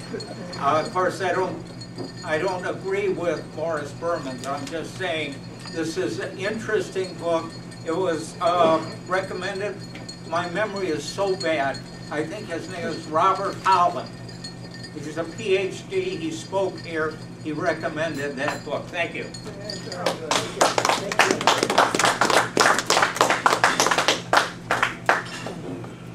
The libertarian, Mr. Johnson, Hang on. To Just do a s- away second, second. with all government uh, benefits. For one thing, he would get government out of our hair, he would do away with public schools, he would do away with Medicare, he would do away with Medicaid, he would do away with Social Security and everything else. So if you want to vote for him, there's no, no difference between him and the Republican Party. And that's what they are. And uh, Donald Trump, the only reason the Republicans don't like him is because he comes out with the same thing they're coming out with, but he says it outright. There's no dog whistles there. He just says it outright. And what's happening in the United States, the United States, like all empires, is declining. Like the decline and fall of the Roman Empire. We could always use that term, decline and fall of the American Empire. Just look what has happened. Some 65 people, mostly in the United States, control half the wealth of the planet, which is insane. People are so disgusted. That's why they voted for Bernie Sanders, because they know Republicans and Democrats are basically the same, but the Democrats hide it quite a bit. But if you look at the Democrats, who passed NAFTA? Bill Clinton. Who's trying to pass the TPP? Obama. It's the same thing. He wants to do this uh, little uh, change and this little change, but in the end, everybody will lose his job. They won't have no security, and the only people will be left is people on the top. They got everything. So that's why people are voting for Bernie Sanders or Trump. They figure Trump, who isn't in the government, never been in the government, he's a businessman, but he comes out with the truth according to the way they look at it. They blame minorities for all our problems. The blacks are on welfare, taking all our money. The Latinos are doing the same thing. That's why we're losing our jobs. It's not because the corporations are moving overseas or using robots to do the job. It's because of these minorities. And that's why the Republicans get their vote. They figure if you get the Democrats out, the minorities won't be in power, especially now with Obama in power, that's why they look at it. So, so the, thing is, we have to look at this society as going down. It's been in uh, recession, depression for the past 16 years, eight years, since uh, 208, 216, past eight years. We're in perpetual warfare. The longest warfare we've ever been in history. If you look around you, people are killing one another. You have people going in these malls, killing, killing each other. People are so disgusted and so, so out of hope that they're doing all these crazy things to each other. People can't, can't get no jobs, so they're selling dope in the, in the, uh, in the ghettos. That's the only way they can get by. There's no hope there, no hope at all. Obama came into power with hope and change. Hope and change is so general, doesn't mean anything. Ah. I was in the Kucinich, he had a program to do something. But they say, well, he's a goofy guy, he's this, he's that, and they got rid of him real fast. But Obama got in there, why? Because they wanted to mollify the black people, for one thing. Another thing, he had to go to Goldman Sachs to get vented in order to become president. So he was already in the hands of the corporations when he got in. And is he, is he investigating or putting into prison any of the people on Wall Street that got us into this mess? No. He's not doing anything about it. He says that's in the past. We have to go to the future. Somebody steals a loaf of bread, he's not going to say that. You have to put him in jail. He done. He went against the law. So the whole thing is, we have corporate power. We've always had corporate power. The only time we didn't, to some degree, was under Roosevelt, and the only reason for that is Roosevelt knew if he kept going the way he was going, there would eventually be a revolution in the United States. So the people pushed him to do something about it, and he done something about it. But the, the thing is with the American people, they don't know history. They don't realize that since the beginning of this country, people really didn't have no freedoms. What it was is white men with property was the only people that voted. Women couldn't vote, slaves couldn't vote, Indians couldn't vote, people without property couldn't vote. So it was always a class system. In order for people to solve their problems, we have to get rid of the class system. That's the only way. Get rid of everything. Yeah. All right, Dan. Call me when you got no plan. Alright, My name is Dan Weinberg. And, uh, like, like Sid was saying, cla- it's a class system. Obama is supposed to be this black nationalist, and he's a Muslim, he was born in Kenya, but he's he has deported, Obama has deported more people than any other president yet. He, he has, Obama has sent back to Mexico, to Guatemala, airplane loads of illegals. So you should all be proud of that. You should be happy with that, right? You, you like deporting people, right? All you conservatives, that's good. Right. America for America. That's right, Charlie. And another thing, uh, America that's famous for, we, we've invented opioids, which are painkillers, um, OxyContin, we're famous for that. Except uh, it, there's a little problem, when people take too much of it, they die. So 30,000 people o- overdosed on, oxy, on opioids last year. One year, 30,000. That's as many people as get killed with guns. But, you know, do the, do the, does Trump talk about that? Does Hillary talk about that? No. They're talking about Verga Hargit. They're talking about something. I don't know what they're talking about. Gary Johnson does. Gary Johnson talks about opioids? Yes. Legalizing pot will solve a lot of that. But they do nothing with getting rid of those opioids. They're, they're very profitable. The drug company makes a lot of money, so anyways.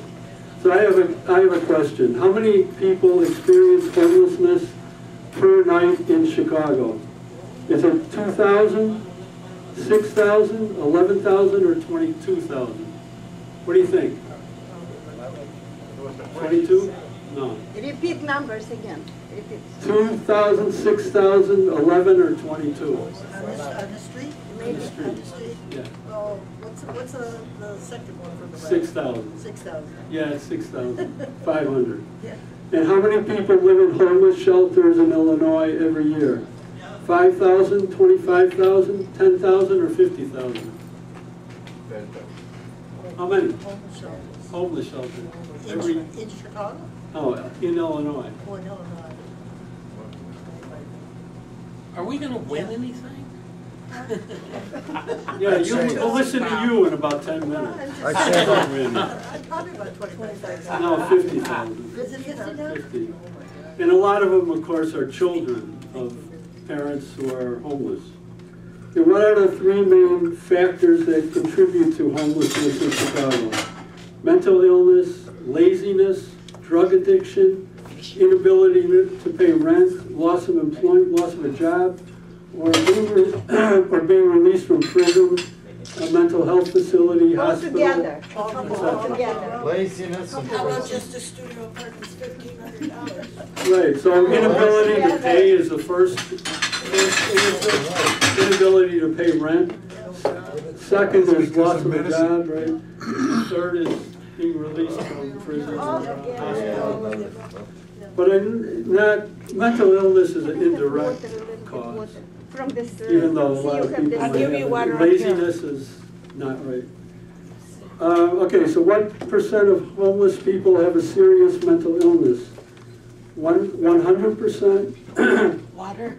Fifty-three percent, seventy-six percent, or thirty-two percent? I have no idea, but how is this a rebuttal to me? Hey, shut up, it's my turn. Right, Thirty-two. thirty-two. It's like one out of three, one out of three on time, Tim. The topic's Got one minute. homelessness One tonight. minute Oh, left. shit, we could say anything we want, Charlie. No, well, I'm gonna talk about my family vacation. One foot at a time, Charlie. You had your rebuttal.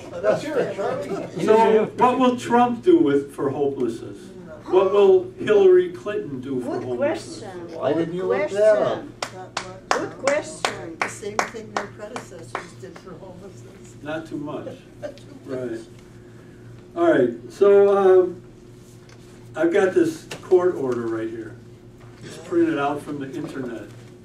And it's, uh, in U.S. District Court, Southern District of New York. Christopher Hedges, Daniel Ellsberg, Jennifer Bolen, Noam Chomsky, Alexa O'Brien, and versus Barack Obama, Leon Panetta, Department of Defense, John McCain, John Boehner, you've heard of those people, right? Yeah, Okay, time. Okay, anyway, so if anybody wants to see this court order, you can see, talk to me later. Okay, Boy, next. How many people have read the court order? Seven thousand? I know how to You're not care of that. I'm interested. gonna talk It- to The It's next working. speaker, thank you about you. it. Charles, one full at a time. Please begin, sir. Um, What's your say- name? You have uh, something to say? David, Do David you have Bossert. something to say? Um, thank you for the speaker, for taking the time to present your views. Um, I, uh, fortunately, don't have to talk, uh, I, I guess my big, uh, point of contention is a lot of positive things you said about Donald Trump. Uh, fortunately, a number of people mentioned, uh, brought up, uh, uh, the problems with the idea that he's good at business, so I don't really have to get into that. Um, I, uh, I'll start out by talking about why Donald Trump is even known. He- He's, he's known because, for the same reason that Kim Kardashian is known. That's why he's famous. It's reality TV. TV. If you look at um, um, Mr. Sanders, Ms. Clinton, um, um, Johnson in the Libertarian Party, and a lot of the people who ran in the Republican primary, they all had administration, administrative experience in politics. Uh, he has none. He's, he's a Kim Kardashian. And, and how is it that he became a, uh, a spokesperson in politics? because he became the cheerleader for the birther movement. And, and if you think about the birther movement, it- it's rooted not only in undemocratic ideas, it's really has a a racist tinge to it. It, it's a, it's a backhanded way of reminding people, yeah, this guy who's running for president, this guy who's, who is president, is black. And, uh, and that seems to be the core people that have pushed him into this political spotlight are people who are behind the birther movement.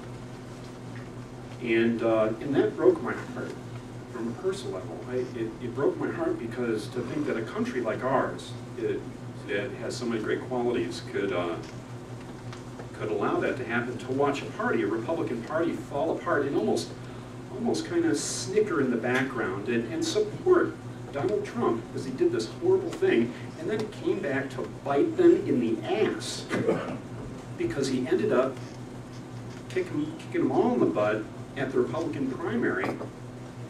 And now they're scrambling to figure out, okay, how do we support the Republican Party but completely disassociate ourselves from Donald Trump? Because they see the train wreck that's coming down the pipeline for the Republican Party. But the thing that's, in my view, my personal view, is that's not the worst thing. The worst thing that he's done, and this is from a purely democratic standpoint for somebody who really appreciates the Constitution, is his recent comment where he said, if Hillary Clinton becomes president, then the Second Amendment supporters have a solution.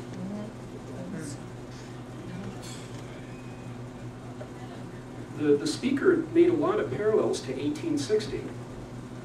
Uh, one parallel is the solution, the South's solution to Abraham Lincoln. What's going to happen?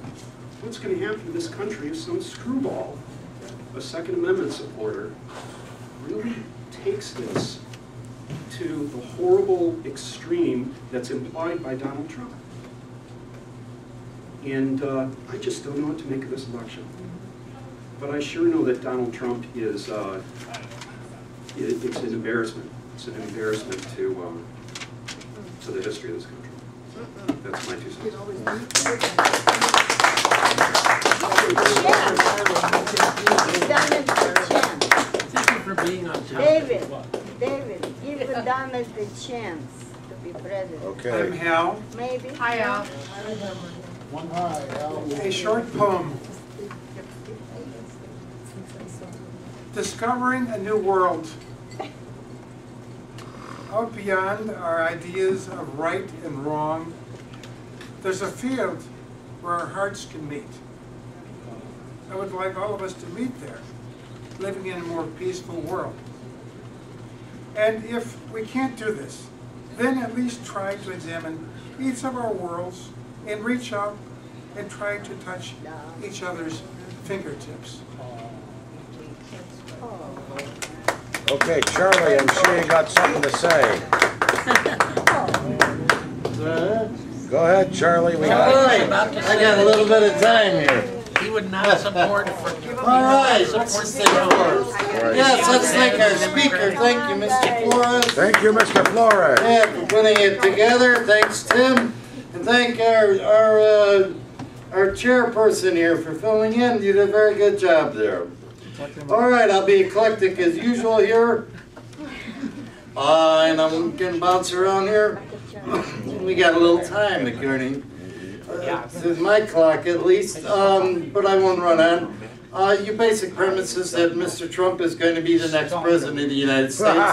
He didn't give us any data to substantiate that assertion. I just looked last night on Lefty Television, and they said the past nine polls, um, Hillary's up seven percent or more, and in the states that count, outside of Idaho and other ideal places like Alabama or something, even taking traditional red states away from them. So, I- unless something happens, um, in which I'm gonna get into later now. The other thing is you're voting libertarian, that's, The Libertarian candidate is the only candidate I can honestly say that is worse than Trump. Uh, and they are coming here. and I like Rand Paul. I have a C-shirt from Rand Paul. I I mean, he's the guy that I may not agree with him, but you know he did have his own approach, his own perspective on this. But this current guy, the libertarians put up, is just just uh, out of outer space, man. No, he's this guy's not. an astronaut. I mean, all government is bad. You're entirely right. That's it. You know, I abolish all. The problem with the libertarians are they say that all government is bad. That means like any time two people work together collectively, it's not going to benefit either one of them. That's not true. That can't be the case. And for every example you give of bad government, there's an example of good government. And if you want, I think there's a heck of a lot more examples of good government. Uh-huh. You know, is it a perfect government? By no means. It's a human enterprise. It's going to have that. And it's going to go in different directions, and those policies are going to change. But to abolish it, and this nonsense, it's not even valid political science. If that's what you're going to use your vote for, okay, go ahead, man. No problem. There's nothing I can do. no, there's another thing about Tail Gunner Joe, your hero. You know, he aroused hysteria against a, don't have particular segment. Uh, no, you're all the time. You go up here, pal, and you said, "Oh, poor Joe. What he was doing was entirely correct." But some evil people came along and sabotaged his efforts. No, he was out to get a certain segment of the community. Now, if he didn't do it correctly, that's his responsibility. What did he, punishment did he get for doing that? For the, the pain and he inflicted on those people who were not guilty of anything. Oh, he had some wrong history, conspiracy against him, you know, poor Tail Gunner Joe. No, that's not the way it works. No. Now the other thing is you got this guy up here that's kicking up sand that every Mexican you run into and every Muslim is out to get you. And that's not a healthy, and that's how his campaign is running for president. I will save you from dangerous people. Do you realize, I think the likelihood of getting hurt by a Muslim terrorist, it is something like that you're more likely to get struck by lightning three times. so this is this is a constant thing that concerns me on my way home tonight. That there may in fact be Muslim terrorists, ISIS or something, or whatever they call them. Now the other thing about Hillary, oh, it's gonna come in October. I spoke out here about Hillary, was it a month or so ago? There's been 22 things, campaigns, that were gonna get Hillary on record. It's going back to 92. But this is not like, like October, pal. If you're gonna come up with one, I wouldn't wait too long. Now you've had since '92, and we're still got one more coming. But it's going to do her in. this is the end. She's not going to run, and she's going to resign and say, "I give up." well, hurry up. no, realistically, we are going to get into the the candidates, and I'm a transportation guy. And I'm passing this around now among the transportation community. And looked among the candidates. Oh, by the way, the, I'll be done in a minute. That Patriot Act, I was involved in the group and still am. We have a hardcore group of people, the Chicagoland Civil Liberties and Rights group that was concerned about the Patriot Act when it was in, first came out worked with ACLU and things like that. And we still have the Yahoo group. There's only a few of us still left on it. But nonetheless, all these years it's been around. And to be honest with you, it has not been the evil that we were concerned with. Now, why that came about, I don't know, Dan. But our group is only nominally still, we still talk together once in, one, in email, maybe once a month or every couple of months but it did not materialize into the great Satan that we were fearful of. Fortunately, whatever the reason was, that didn't happen. you know, so I don't know what court case you got out there. But I took transportation, and I looked up the candidates, I sent this out to the transportation community on emails and flat, this Facebook stuff. Uh, I looked up Hillary on transportation, I got, I got two or three pages. She even had stuff about Chicago, railroads and things like this. She knew about the projects, infrastructure projects are cited, two, three pages, very informative of working on the infrastructure. Cool. All right, let's go to Mr., uh, this libertarian guy who says, just get rid of all government transportation. I don't know, sell the roads, and he has said nothing. A sentence or two. Get rid of it all. Get rid of the Department of Transportation. That's what he said.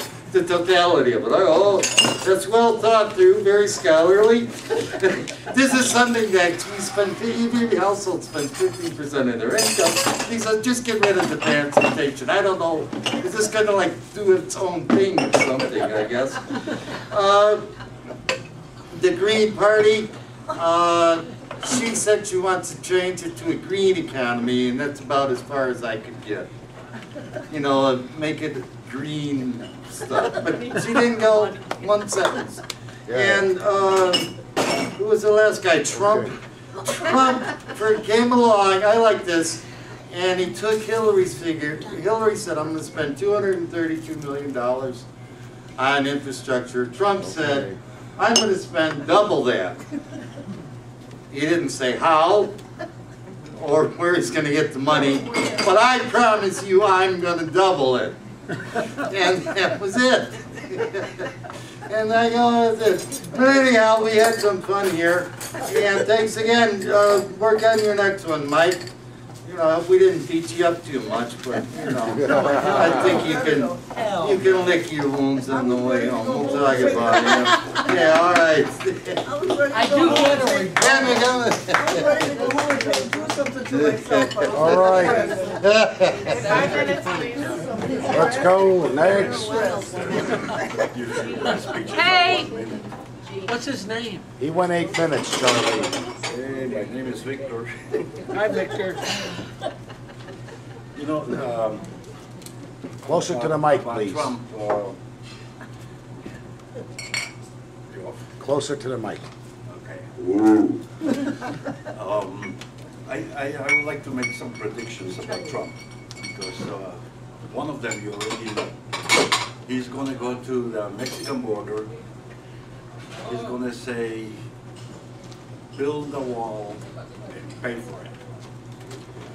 But he's got, the other side, he's very much in admiration of Reagan, so he's gonna go to the West Bank and he's gonna say, Netanyahu, tear down this wall.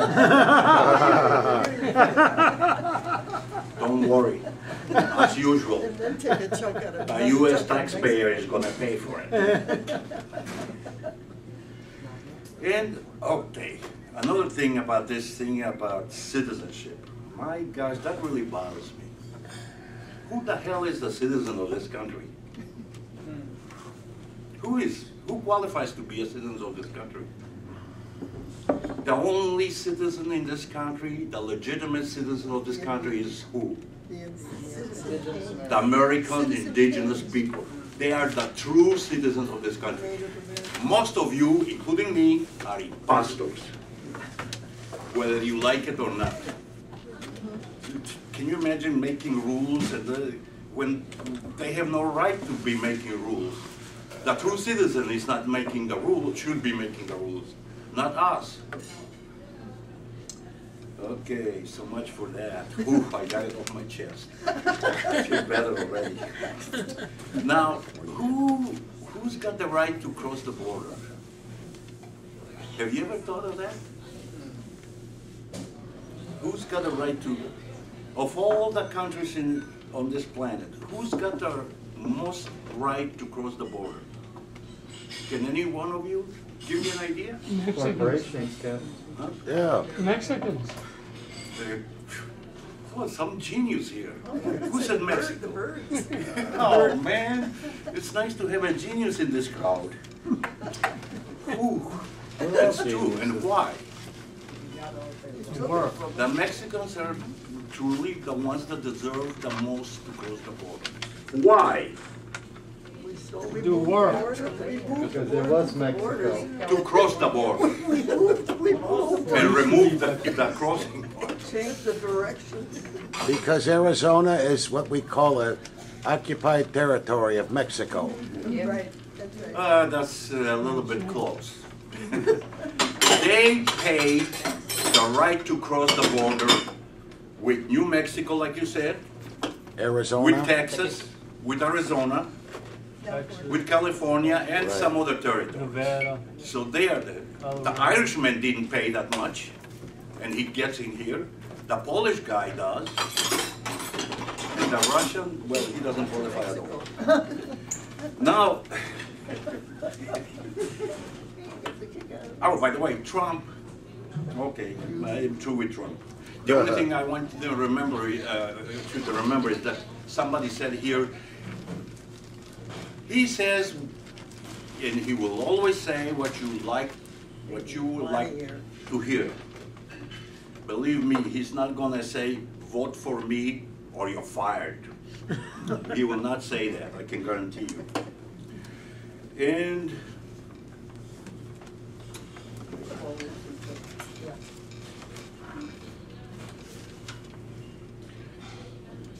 Well, slavery is ac- actually, uh, uh, and that was brought up with 1860 and all that, and it's a really a black eye on this country because I, I, I can believe that we still have that problem after 300 years. When are we gonna get civilized? That's right.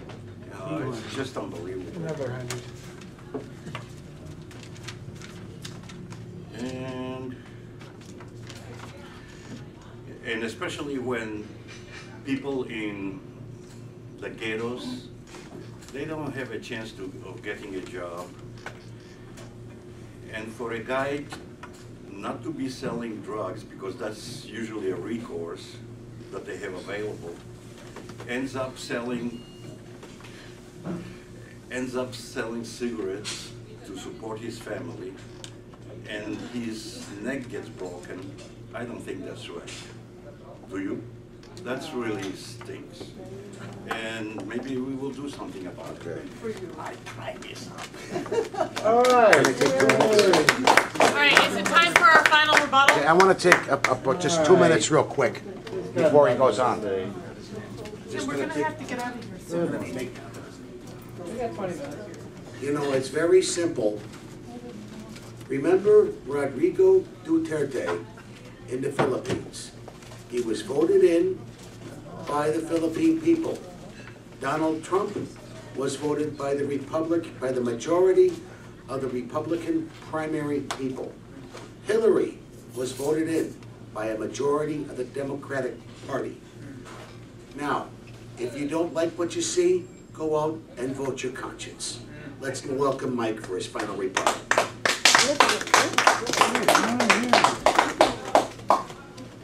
Gonna give up. I got a bunch here. Um, Charles, you were really funny tonight. I'm impressed. As a person who used to teach improv comedy, um, You voted while he was I asleep. am very impressed, and and that's serious. Um, Now, I would like to say, I heard you guys say that it sounds so depressing, what we face. How are we supposed to get up tomorrow? Well, you know what?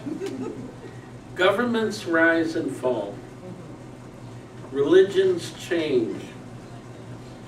The military remains. Okay? Our military is the most revolutionary that has ever existed on earth.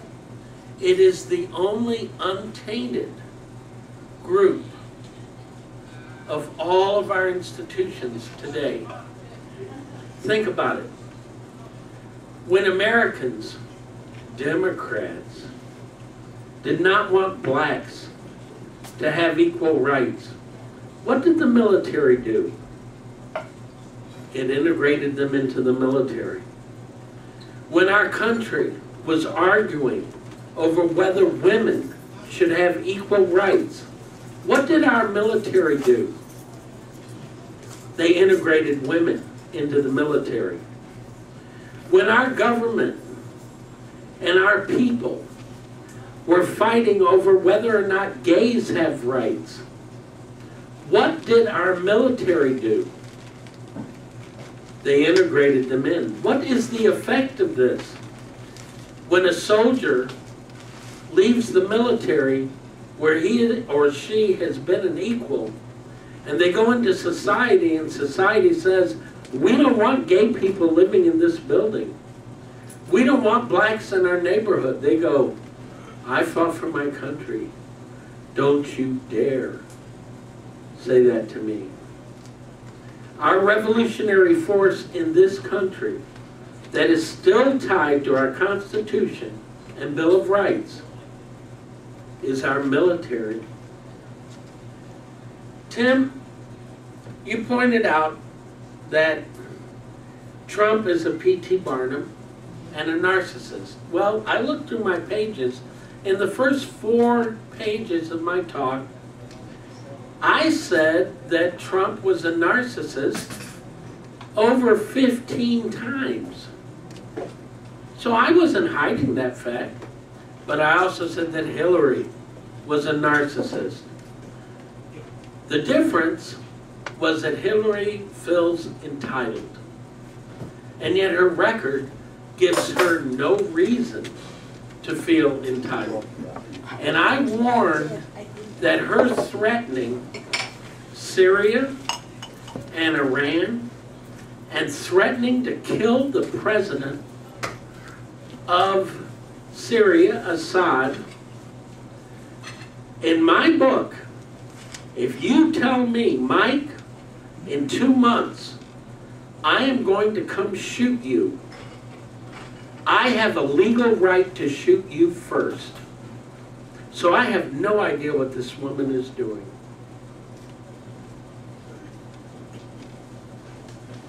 Look up the policy.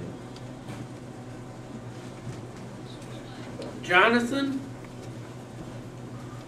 um, I just want you to know, I don't have cable. I do not watch MSNBC. I don't watch Fox News. Everything I do is on the computer. I listen to Democracy Now! five days a week, even though I don't always agree. But it's a different point of view. In America, when I watch our news, if it bleeds, it leads.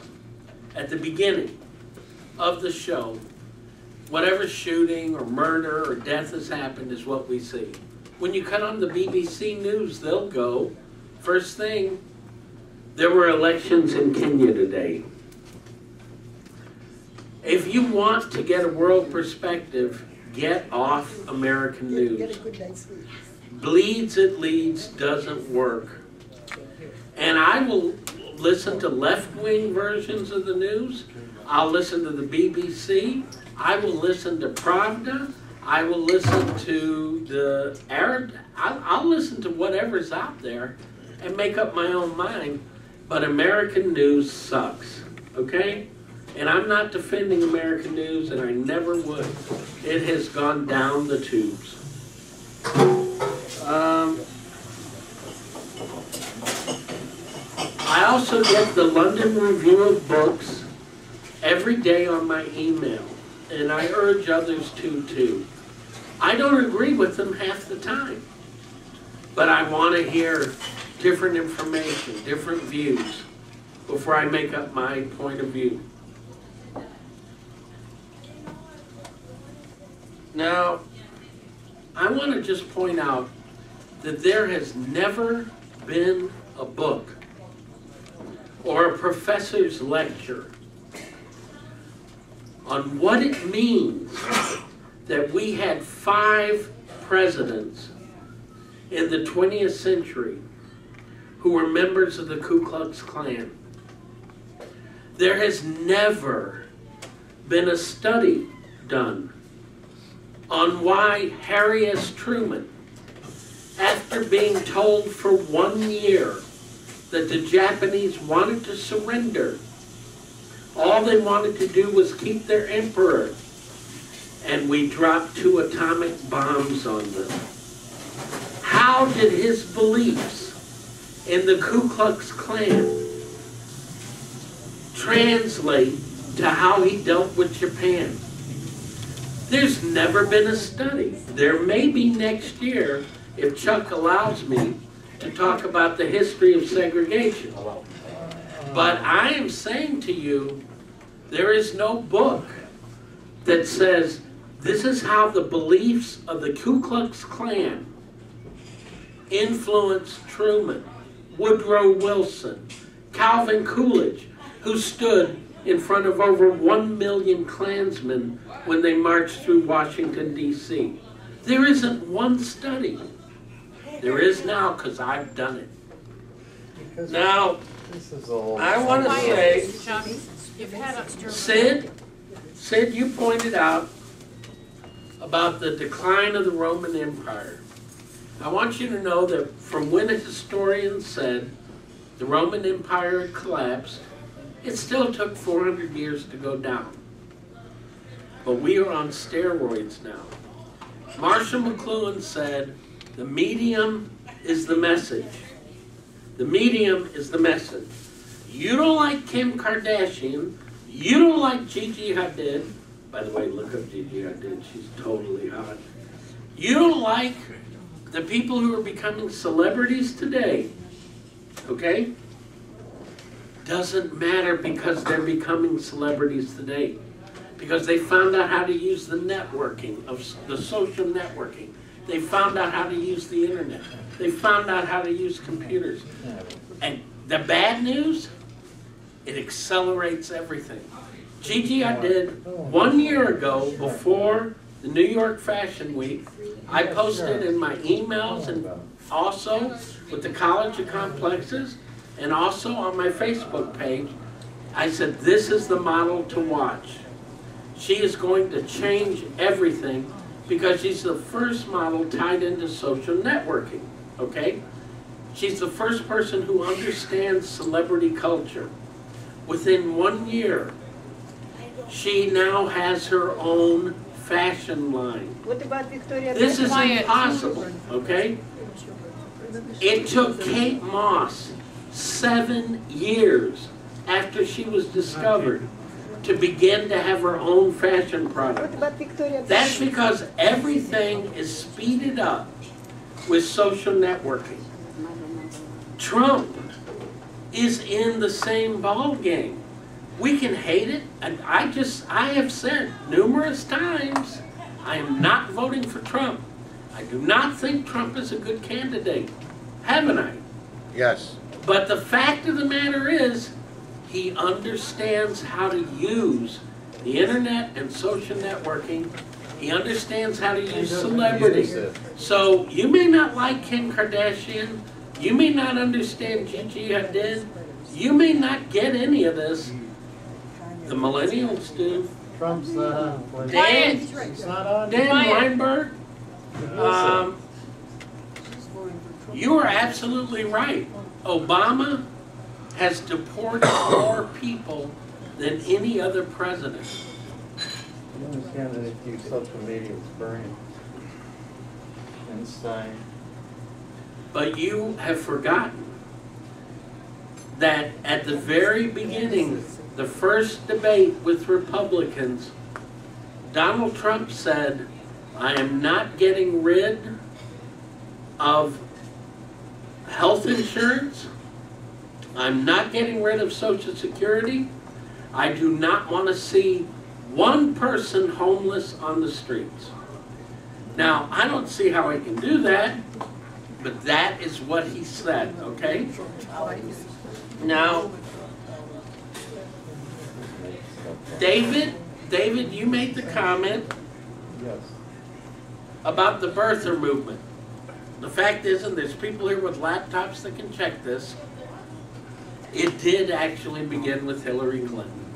It's the reason Michelle Obama attacked him. A woman that worked in his campaign has actually admitted this. It's, it's there. It's on the internet. You can see it. Now, here's the thing. My parents, uh, my dad ended up joining the Navy for life because he thought the way to pay back this country for allowing him to become a citizen was to serve the military. Okay? Obama's parents were in the CIA. Now, if you're in the CIA and you have a kid anywhere on earth, doesn't matter where, they will say it's a military base in America or Hawaii or wherever in order, it's just what's done. So even if you wanted to stop Obama because his parents were in the CIA, which I think is funny in kind of a way because Romney's dad received death threats from the KKK uh, because he marched with Martin Luther King. Two minutes. While that was going on, Obama's dad was spying on nationalists in Africa. But if you work with the CIA and you have your kid in a different country, it's going to be listed as here. And unless you want to create total chaos by undoing all of those births, you're going to have to accept that. Um, by the way, uh, Trump did threaten a candidate, and I did mention that in my talk. Um, Charles, I never said I wanted Trump to be president. I am explaining why it's happening. I am telling you why this is going on and what I believe are the forces that are making this happen. Okay? That doesn't mean I support Trump. I do not support Trump. But I am not going to accept Hillary either. Um, I'm a You said Trump is libertarian. No I'm, talking. I'm a libertarian Republican, which is not the same as libertarian. I am not an anarchist. Um, let's see. Operation Wetback, which happened in 1954 by President Eisenhower, was sending back illegal Mexicans. And he did. He sent back millions. It really worked. It really can be done. The, the way it ended, though, was horrible. Thousands of people who were citizens were sent back to Mexico because of their name. Okay? It was a disaster for Eisenhower. There was a, a cruise ship with several hundred people who ended up dying on the way going back to Mexico. And that started the end of Operation Wetback. I think Trump is going to be faced with the same kind of thing. Um, let's see. By the way, I was stunned to see the Snowden movie. I saw the Snowden movie, and the fact is, the enemies, the bad guys in the Snowden movie are Hillary Clinton and Barack Obama. When you see the Snowden movie, you will be shocked. I do believe that the what the wall is going to be built, but it's not going to be built the way Trump is saying. They're going to add it to the fence that is already there. It's all symbolic. They just go around it. It's bullshit. But I do believe that's what they're going to do. I do not look forward to a Hillary presidency. I do not look forward to a Trump presidency. But you know what? Maybe we need to convince the Congress and the Senate that instead of rolling over and doing whatever the president asks, they begin to stand up and fight them. And that's what we need right now. Thank you. Sit, sit down for a minute. You're blocking the camera, Sid. Meeting uh, 3,393 has come to an end.